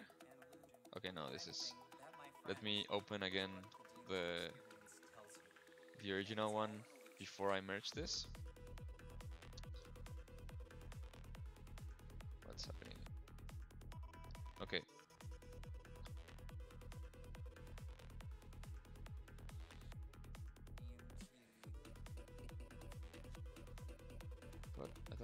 here.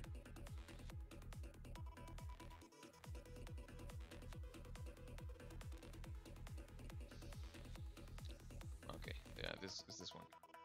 I don't know what happened really here. Um, yeah, so let's say I want to really add this to um, to the mesh. My only option really, um, without destroying that, is take this.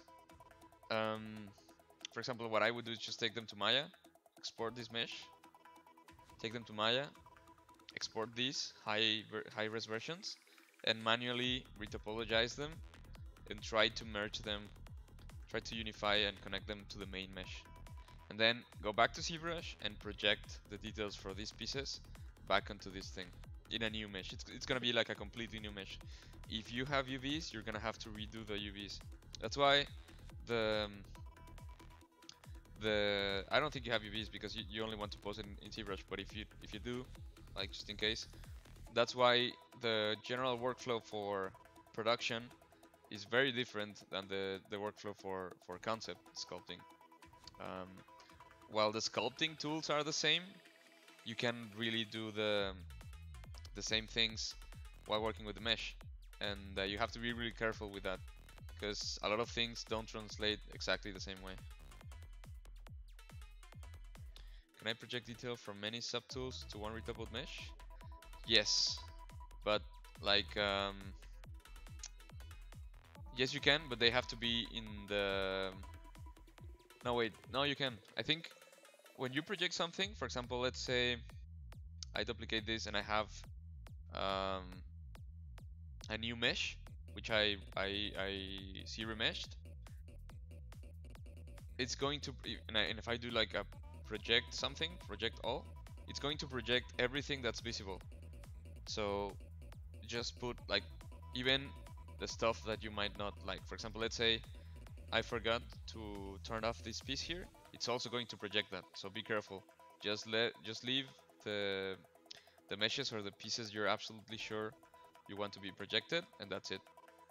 It's actually really easy. Just you have to be careful and then after a while it's gonna be just like second nature to you. Um, you're not gonna be having these these problems anymore. So I know it was like a long explanation, but I, I really wanted to cover that because it's a really common issue. And um, yeah, just be careful with that. Hope it helps. Okay, let's continue with this. Going to do sort of like the same thing, kind of, not exactly, but um, try to do like uh, this type of wing things here as well. Yeah, no worries. I hope it, it helps. Yeah, planning is really important. I'm, I'm telling you because I've had to. Um, I'm really not good at planning, so I had a lot of uh, headaches um, back in the day while trying, while learning the workflow and, and doing my first characters. I always, always messed up with something, and I had to redo a lot of stuff all the time. So it's it happens. Don't worry.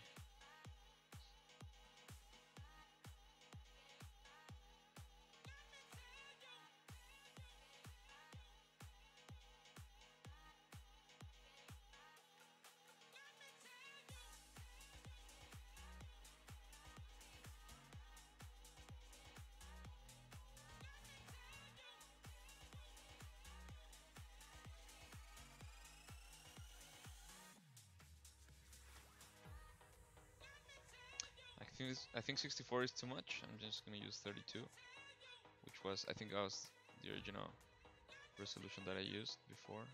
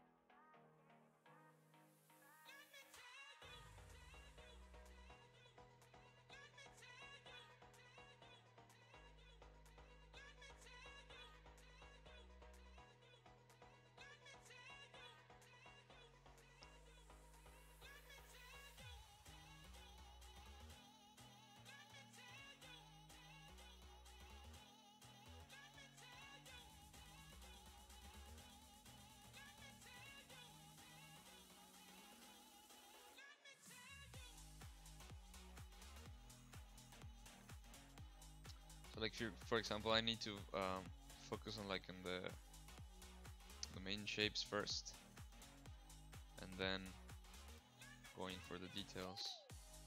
I really like to use the move uh, with the Akka curve, the move brush, because it does things like instead of just moving everything like this, it will actually like pull, like pinching. So it's really cool to come up with interesting ways of doing like corners of stuff.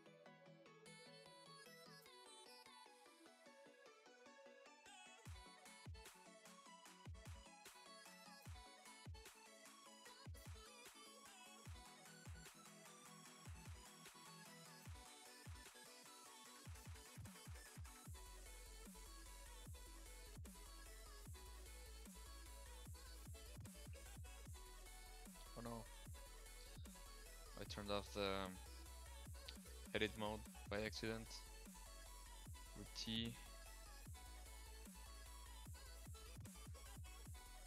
'Cause I have my brushes on the numbers 1 to 8 and I want to press 5 and press the T by accident.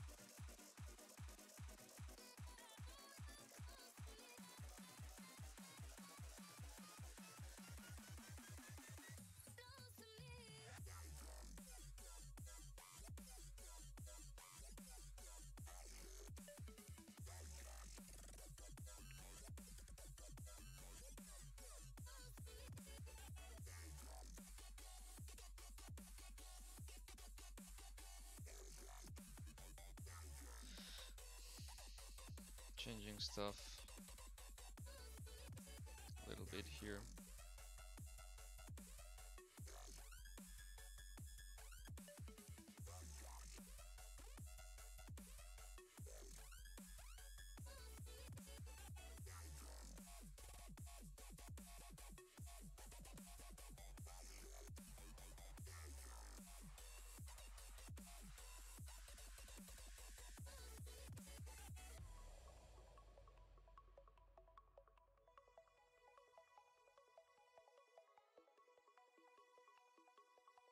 think this might be too big.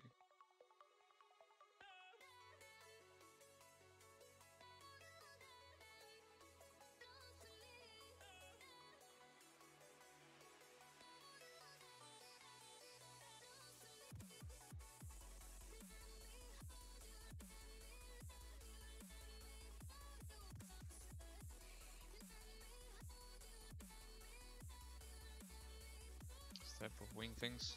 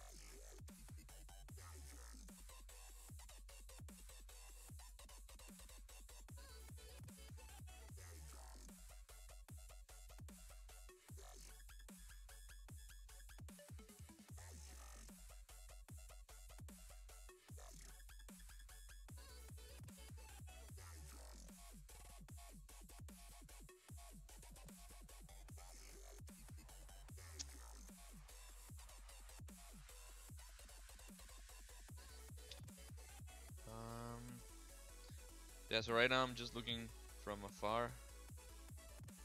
See if I like what I have.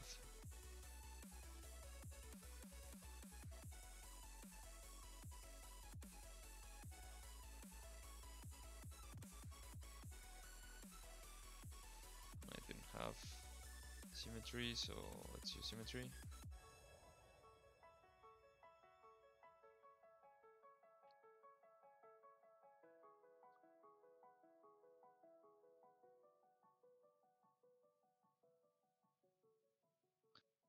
Like a bony angle here. And then just have like the, the tissue just pass.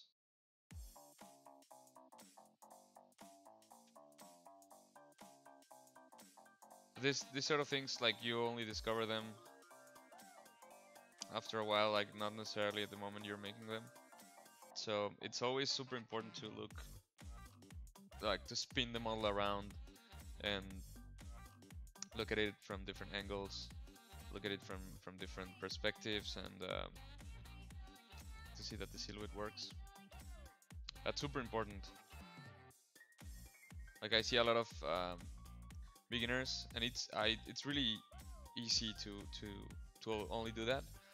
Like when people are starting, um, you have like your front view, and then you sculpt things and you have like your left view or side view and then you sculpt things and your top view and, and you sculpt your things. And then the, the model ends up looking like super squared because you're only sculpting from the orthographic views. Super important to turn off perspective to turn on perspective sorry turn it on. And uh, yeah spin it around. Sculpt it from from all possible angles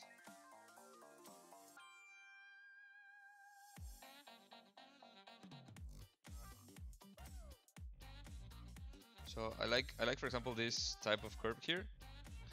So I might uh, make it continue into the thing here.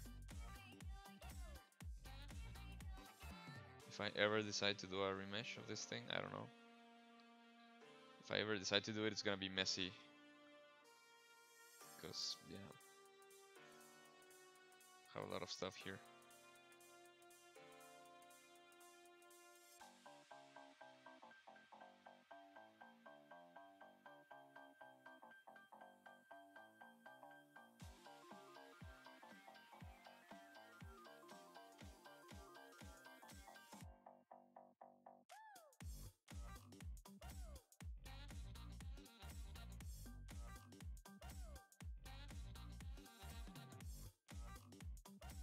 No, I am actually I am with uh, I'm sculpting with perspective on. If I turn it off, it looks super flat. And I I I was I started with perspective off, but I turned it on like uh, 20 minutes into the stream or something. I don't remember. But yeah, it's it's um the the the correct way. I don't know if that's correct way, but the, the way I use perspective or not perspective, like orthographing stuff like that, it's if I want to align something, or I really want to make sure that the certain shapes are achieved, I would turn perspective off. Um, for example, working with um, like an image plane or um, moving stuff around, like it's more easy.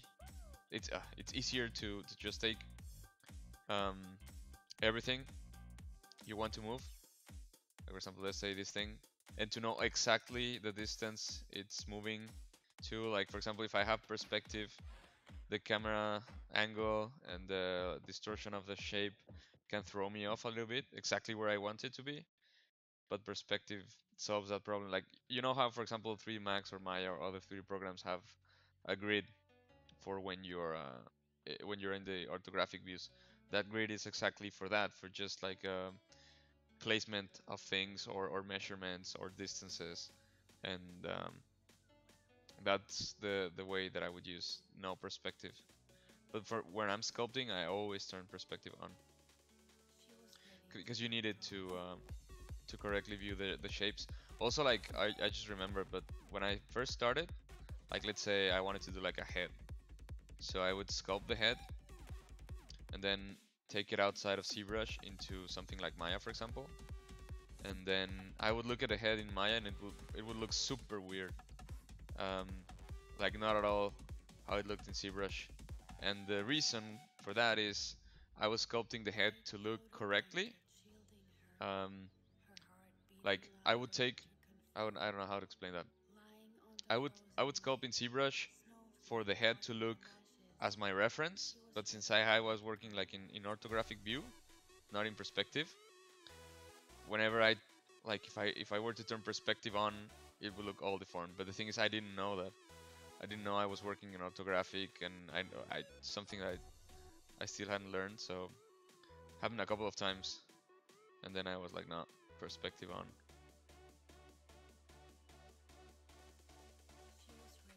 I actually much prefer like there's some things from ZBrush that I wish other 3D programs had, like the camera thing, to just be able to snap the camera with shift and to, to transition between perspective and, and orthographic just with a click. It's so much faster than what other programs have. Like for modeling, I don't I don't know for other things like rigging or animation or anything. I think it doesn't really matter. But for modeling, um, instead of like having the the option to just snap the camera with shift, I think it's amazing. I would lo- love to have that. But it's it's cool that it's in ZBrush at least.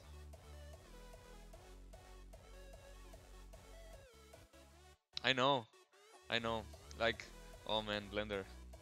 There's so much things to to say about the program. I used it for a couple of months, like for six months or so. A little bit more, I don't remember exactly. Uh, for a project I was working on. And there are things I really love about Blender, and some things I really hate about Blender. Um, for example, modeling and UVs are really good. Really good in Blender. I really like the.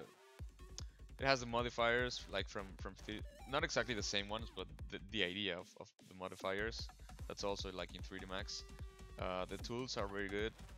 The um, once you get past like the navigation thing with the the other click, with the right click, um, or you can change that, but like once you stop uh, fighting the program, it's pretty cool.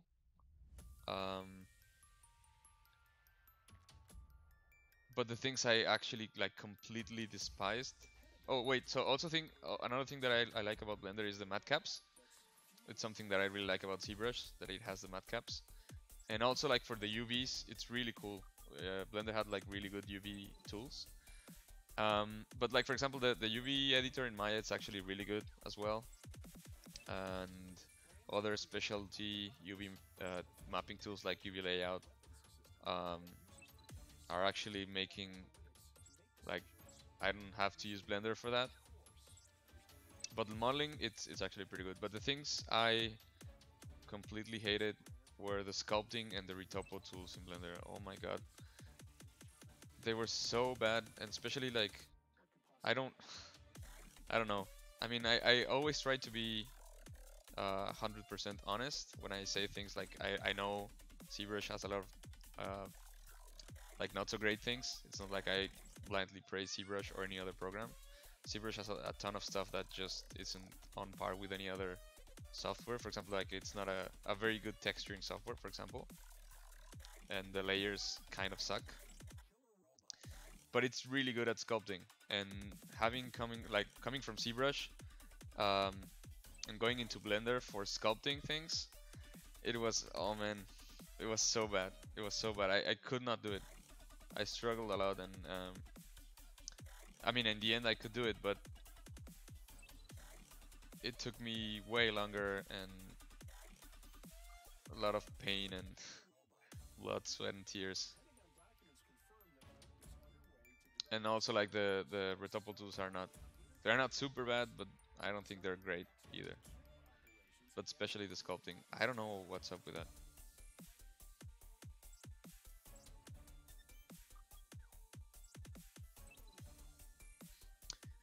Uh, but I have a couple of friends at work who um, who use Blender for um, for like modeling uh, certain things.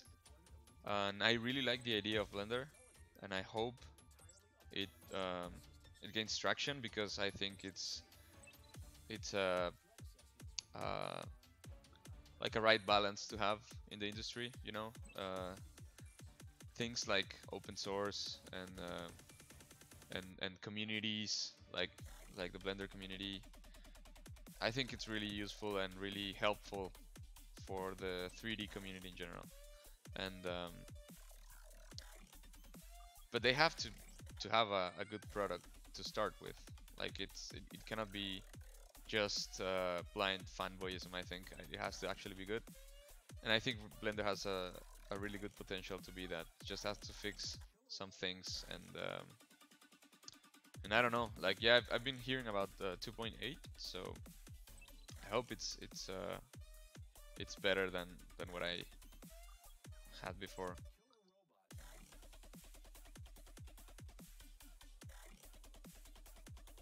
The thing is also like another um, point that I, I want to make. It's uh, outside of modeling and maybe UV mapping. Nobody really uses Blender for production in like in any studio because I don't think the cost of having the whole staff learn Blender outweighs the the benefit of the price or like the the program being free. Um, and also pipelines are, are already established. Um, it's really hard. Like it, I think it's really good for smaller studios, indie studios, or freelancers. But like really big productions, I don't really see it happening soon. Like even ZBrush, I'm actually surprised because ZBrush is also a pain to to integrate to a pipeline. I've seen that because um, it's like it has to only run on Windows or or Mac. You cannot use ZBrush on Linux, for example. So um, the the integration of pipeline tools for ZBrush to coordinate with other programs, it's really hard. You always have to do it manually. Like it, it's not actually, I think, a, a very production pipeline friendly software, ZBrush, but it's so good at what it does. Like it's so good at sculpting. It's incredibly useful for uh, displacement maps and uh, sculpting uh, details and stuff like that. That people use it despite of the shortcomings. And that's what it that's why I think it's it's the only reason like it's really good for sculpting. Otherwise if it was mediocre at best I don't think it's gonna be it was going to be used at all.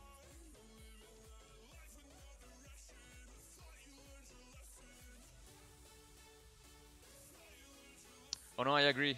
I, I also hated Retopo in ZBrush um, I the first time I learned Retopo in ZBrush was with uh, ZSpheres there's like a really weird workflow. You create a ZSphere and then you you like um, change the topology of the main. Ma- it's, it's so weird, and it didn't really work for me. And then the topology brush came out, and it's good.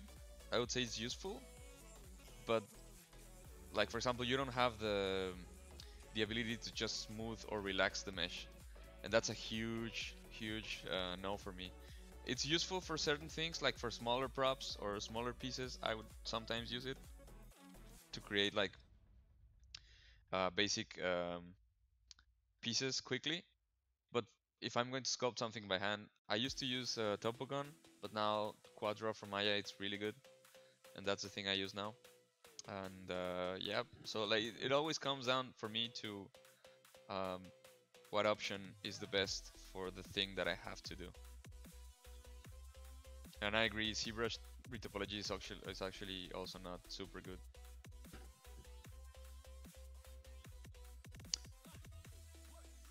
Oh, hey Alkiliden. I don't know how to pronounce your name. Yeah, it's uh, I don't remember the name of the film, um, but I think I saw uh, something uh, on Facebook. Uh, there's there's like I remember one of the first um, I remember a, a, like uh, several years back watching the film Sintel by also like the by the Blender Foundation, like a of a girl with a dragon. I thought that was really cool, and um, there's also like a really cool project being uh, done in, in Mexico right now in Mexico City, also 100% in Blender. That's the pro that's the, the the project that I worked on. I don't want to say anything. I don't want to spoil anything. Just I'm just gonna say it's amazing what's what's being done there. It's just that um, that's the thing. Like not many people know how to use the program. Not many people uh, have expertise on like uh, developing tools or, or plugins for that. So it slows the production down in a way. I hope, I really hope it gets there, and I really hope the um, community around it grows because, like I said, it's really, it's a really useful voice inside of the community, like a counterweight in a way. So it's cool. It it needs more variety. The industry. I completely agree. Hola, thank you, thank you so much. Alki, okay, cool, welcome. Yeah, next gen. Hold on, I think I saw it on Facebook this week. Yep. Yeah, actually, I think uh, Ashley, who's also a streamer uh, here in the channel in ZBrush Live, I think she al- also worked in the movie, um, like as a concept designer for characters. Like she, I think she used ZBrush, but she mentioned something about the movie being done in Blender.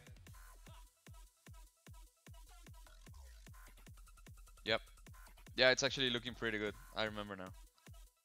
Um, and also another thing that I like about Blender is the cycles render. It's really, really nice. I didn't have a lot of time to to play around with it, but it's it's really powerful the things you can do with cycles.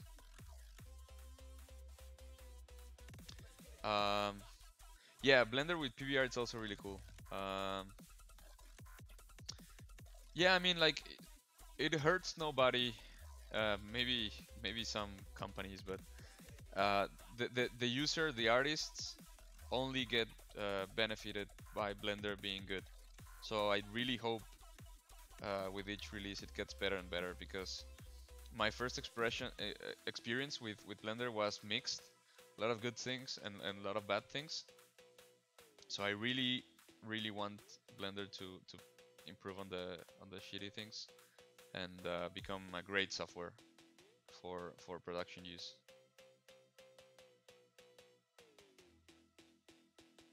Nice. That's so cool. Yeah, PBR I had to I, I used it a little bit more and it's really good. PBR is really good. And also like the texturing it's I think it's decent. Uh I personally prefer a lot uh like Mari. I really really like the the control you have with Mari. Um even like for example Substance Painter even though it like has like the the smart materials and the smart masks and stuff like that I don't I don't love how it takes a little bit of the control away from you and I like how Mari it's like 100% your fault or your merit whatever however the texture looks. And uh, Mari is just like so deep for texture painting it's insane so that that's like my cup of tea right now but um, I tried the texturing in Blender as well, and it's it's not bad. I, I liked it. I think it works for for you what you try. Um, yeah, it has a free version. Uh, I think I think it limits the um, the resolution of the UDIMs you can have to like 4K. I don't remember. I have to check. But it is there is like a free uh, indie version or student version or something like that. You you should check it out. It's really good. It's a really good software.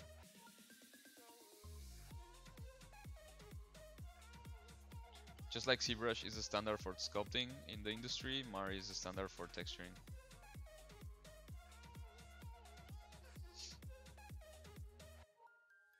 Yeah, like that's true. Like I said, uh, the more options we have, the better. The more viable options, I would say. Like not just options, we need like good options. And uh, there's const constantly new software coming, and for some reason, like Blender has survived so that's a good sign. And the philosophy, I really like it because in a way, I think the the Blender community is really similar to the ZBrush community. Um, it's like really centered around the the specific tool they use or we use, um, but also like focused also in the like in the end product. I don't know how to say it, and like for example, Blend, Blender is free now, uh, but ZBrush it's also not super expensive. Like you pay for the license just once, and all the updates are free, basically for the rest of well so far have been free. I, I bought ZBrush in 2013, and it's been like five years of free upgrades, and uh, the development team it's really close to the community. So I see both communities like really in a similar way.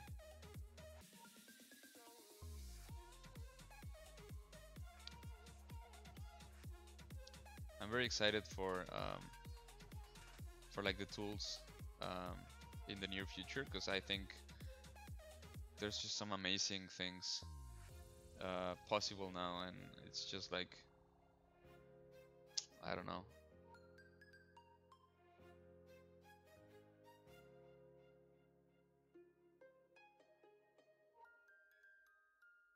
Okay, so many messages. Let me read this. Hey, so Max, what's up?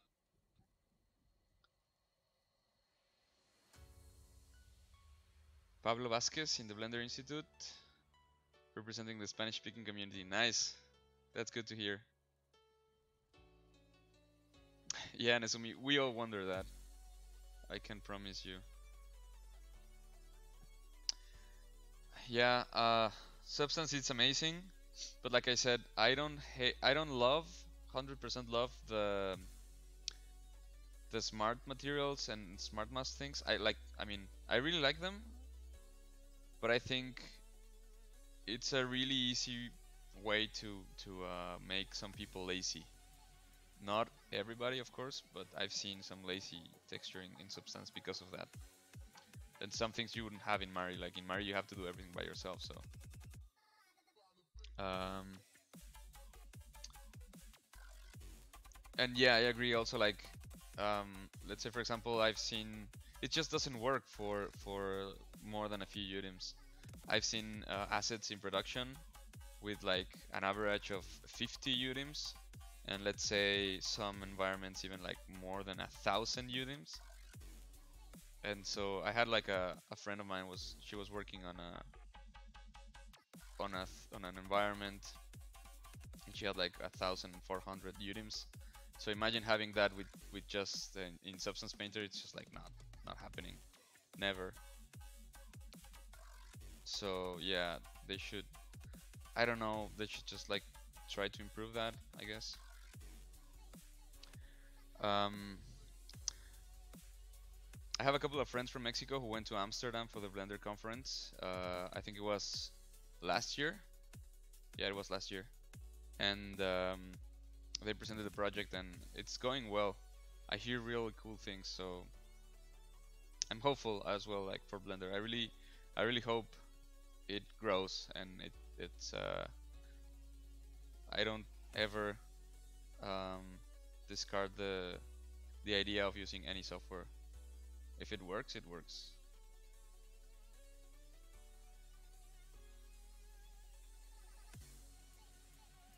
Yeah, for sculpting, it's it's a no-brainer. It's ZBrush everywhere, and I mean that could be seen like as a bad thing because if you are the only option, it could be very easy for for Pixologic to say, okay, let's just not update ZBrush any anytime uh, like anymore ever in the future.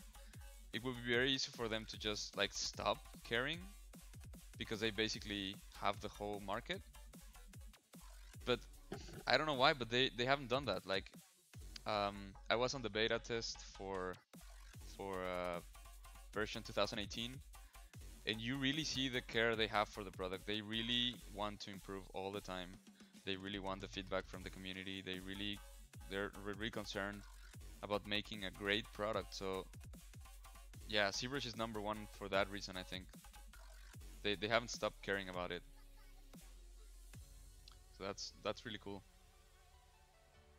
Hey Stefan, um, you can you can check out my Gumroad. Just uh, uh, type in uh, gumroad.com slash Jose Rosales Art, just the the exact same tag uh, for of my other networks, and I have the matcap and my interface, um, just for free. Just grab it. Feel free to um, to take the matcap. Yeah, 1K UDIMs are uh, like I don't. I remember watching um, a production talk at SIGGRAPH of Chappie with Image Engine, and uh, they remember. I, I remember they they showed like the, the whole pipeline of the asset for Chappie, and it had uh, something around 500 UDIMs, which for a character is a lot. It's basically an environment in others in other productions. So, yeah, that's Mari. It's basically the only program that can do that.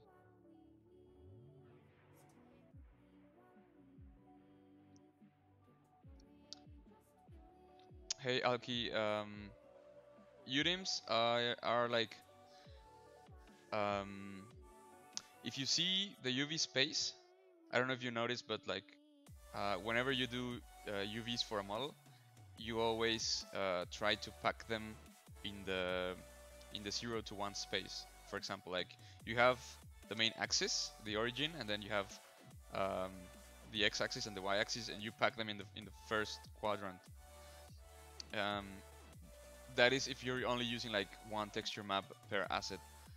The UDIMs allow you to use more than one texture set. So let's say a character for film has to have a lot of resolution on the textures. One 4K map is not going to be enough. Even one 8K map is not going to be enough. Even 10 4K maps are not going to be enough. So um, the, the UV editors usually have like extra spaces and in the x-axis and y-axis. So the way you pack the textures, you can have, for example, um, there's a lot of ways you can do that. But let's say you you, you can divide assets by um, by mesh. So let's say if I were if you were to model myself, you have like for example my glasses.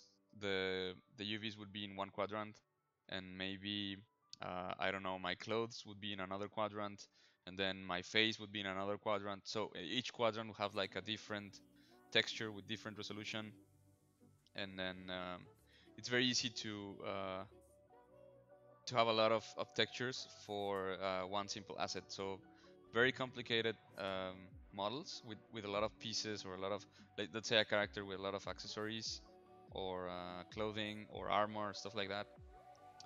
Every different part of the character ha- can have its own 4K texture. So that's why just Google um, like for example Chappie UDIMs and I'm I'm pretty sure you'll find something uh, like a visual representation of how the UDIMs are, are distributed. And the really cool thing about Mari is that you can load a lot of UDIMs and you can work basically on like 500 texture sets of the same character. And it also has like really cool um, and powerful uh, procedurals. And uh, it also has like a node system. So yeah Mari's Mari's a beast. It's a really cool program. That's why I said like for example ZBrush has the polypaint which is pretty cool. Um, and you can do amazing stuff with it like Kris Costa just textured uh, a realistic portrait just with the uh, polypaint and and it's really impressive. But I'm I'm coming more from the the perspective of like a production environment where you need to share assets between departments and you need to have like an established pipeline and you need to have some uh, certain like um, processes running. So in those cases you would use software that allow you to do that so that's why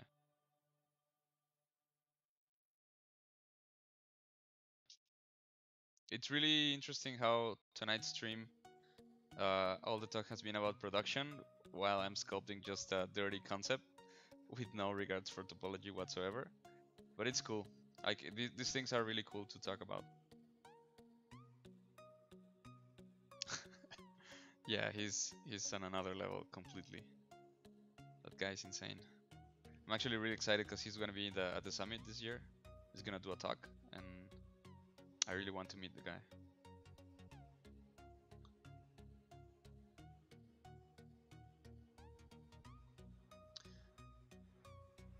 Yeah, exactly. UDIMs allow you to pack the UV islands outside of the 0 to 1 space. Exactly. So even like for example, you can have, let's say, I'm trying to think of an example. Uh, imagine one of the Blizzard cinematics or one of the Blur Studio cinematics, um, and they have like a really cool character, like the face, and it's uh, there's a shot in the cinematic, like a super close up of the face, and uh, and the resolution of the whole thing, the like the video, it's uh, full HD. So in that case, the face can be divided into more than one or two UDIMs. It doesn't have to be just the face in one UDIM. You can you can like split it in even like 10 UDIMs of and have like 10 4K textures or like 4 or 5 8K textures and then the detail really really pops out. And um it you don't have to be concerned about like the seams, the UV seams because you can paint it as like you can paint it both in, in UV space and in 3D space and um, there's a lot of mapping techniques uh, like 3 planar which projects from X, Y and Z uh, procedurals with nodes and so like it's really uh, UV seams are not a, an issue at all with Mari.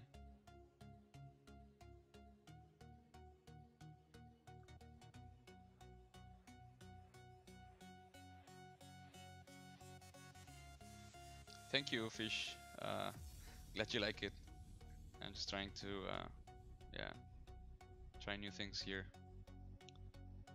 I really love sculpting. Like, it's it's really weird because I really like the whole production pipeline, and I've I've been like I've been learning it uh, a lot in the past few years.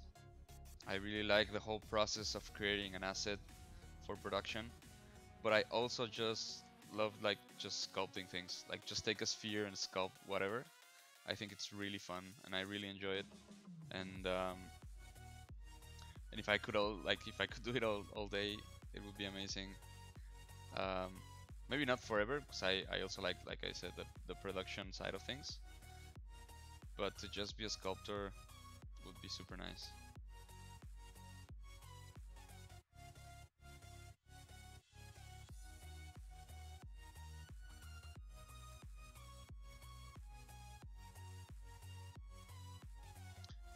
Then why not packing it all in one quadrant but using 32k textures? Um, for one, like for example, images like textures are actually much more heavy than uh, than than objects like than than meshes, 3D meshes. Textures are usually the heaviest things. Like for example, when a video game gets remade and it's like a HD remaster or something, it's usually just increased resolution for the textures, the model usually stay the same. Unless it's something like, for example, uh, the new Shadow of the Colossus, which is completely redone. If it's something like, uh, I don't know, Metal Gear Solid 3, which was like had like an HD version, it's just the textures uh, redone. So the textures are usually super heavy, and 32k it's too much.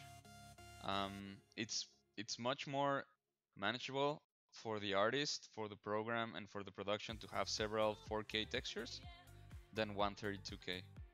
32K is just too much, and um, there's really also not a use for that unless you're gonna do like a super.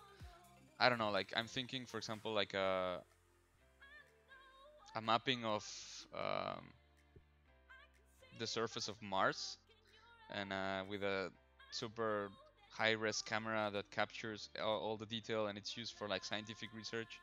I can see that happening. But the thing is, it's like 4K televisions.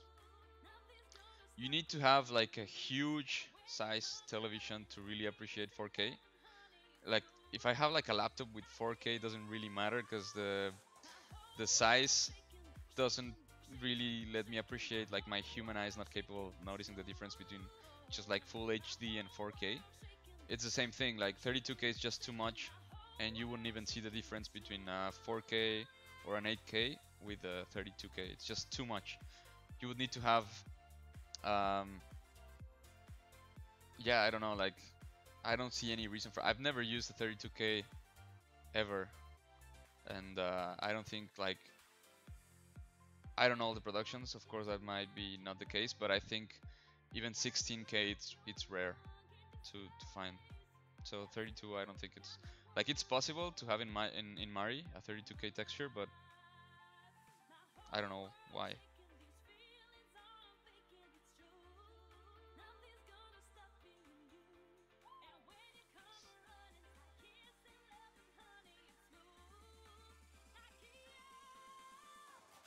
I'm try and make this uh, more curved. Let's turn off the aqua curve here.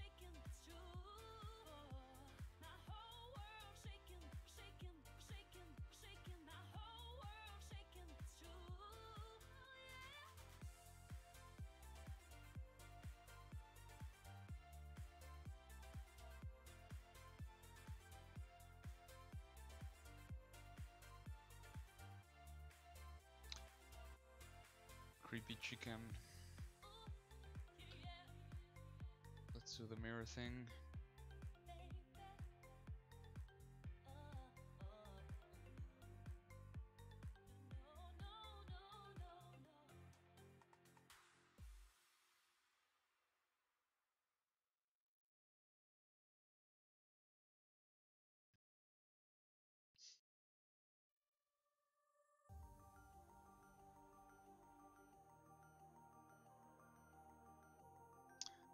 In this case, I also want to sculpt here a little bit.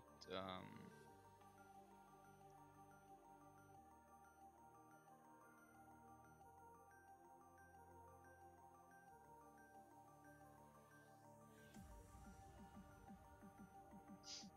hey Nezumi, take care. Yeah, it would be super cool. Uh, it was glad to see you here, and, and glad you stopped by to uh, to chat for a little bit. Take care and good luck with uh with that sculpt. One of those KFC chickens. Yeah, I know.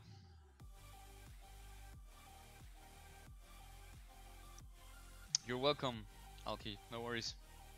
Hope it helps, and um, hope it's useful as well.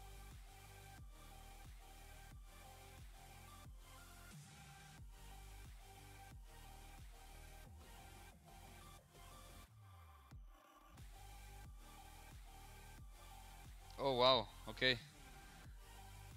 Good night, and uh, take care, and hopefully see you around again in another stream.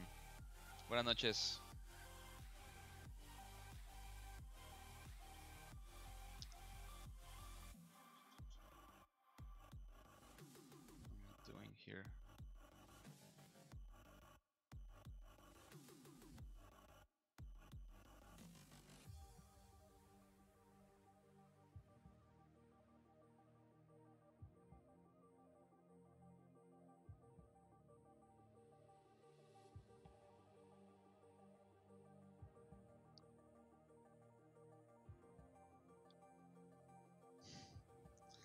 Thanks. Yeah, I will post it when it's when it's done. Um, I'm suspecting it's not gonna be much longer.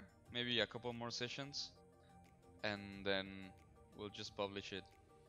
Hopefully, we'll let you guys know. I'm gonna be spamming all the social networks with it. Cuídate, que estés muy bien.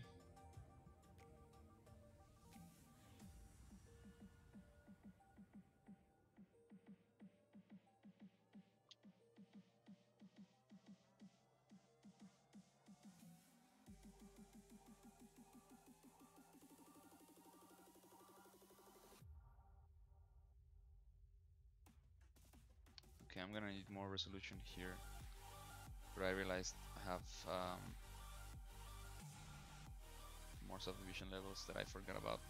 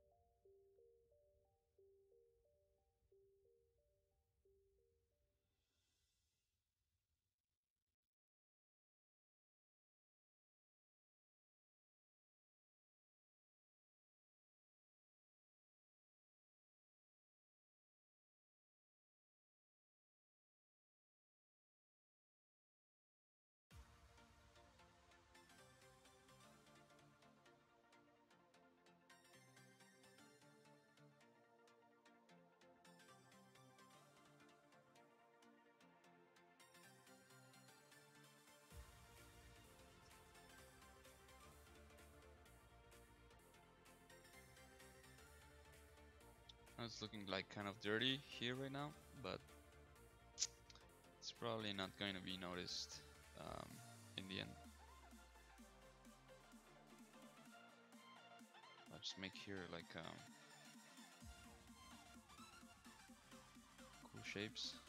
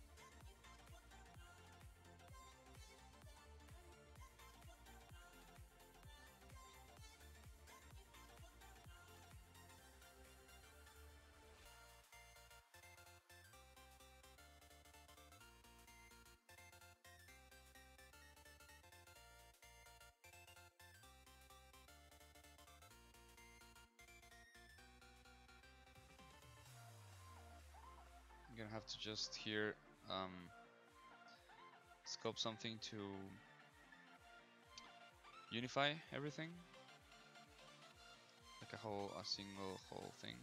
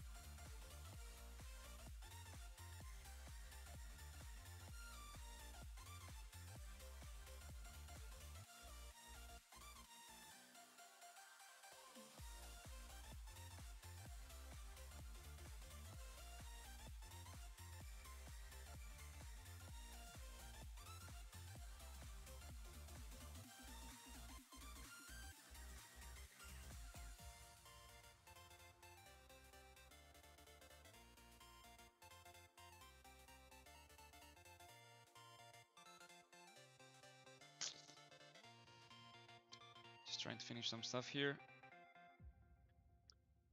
Um,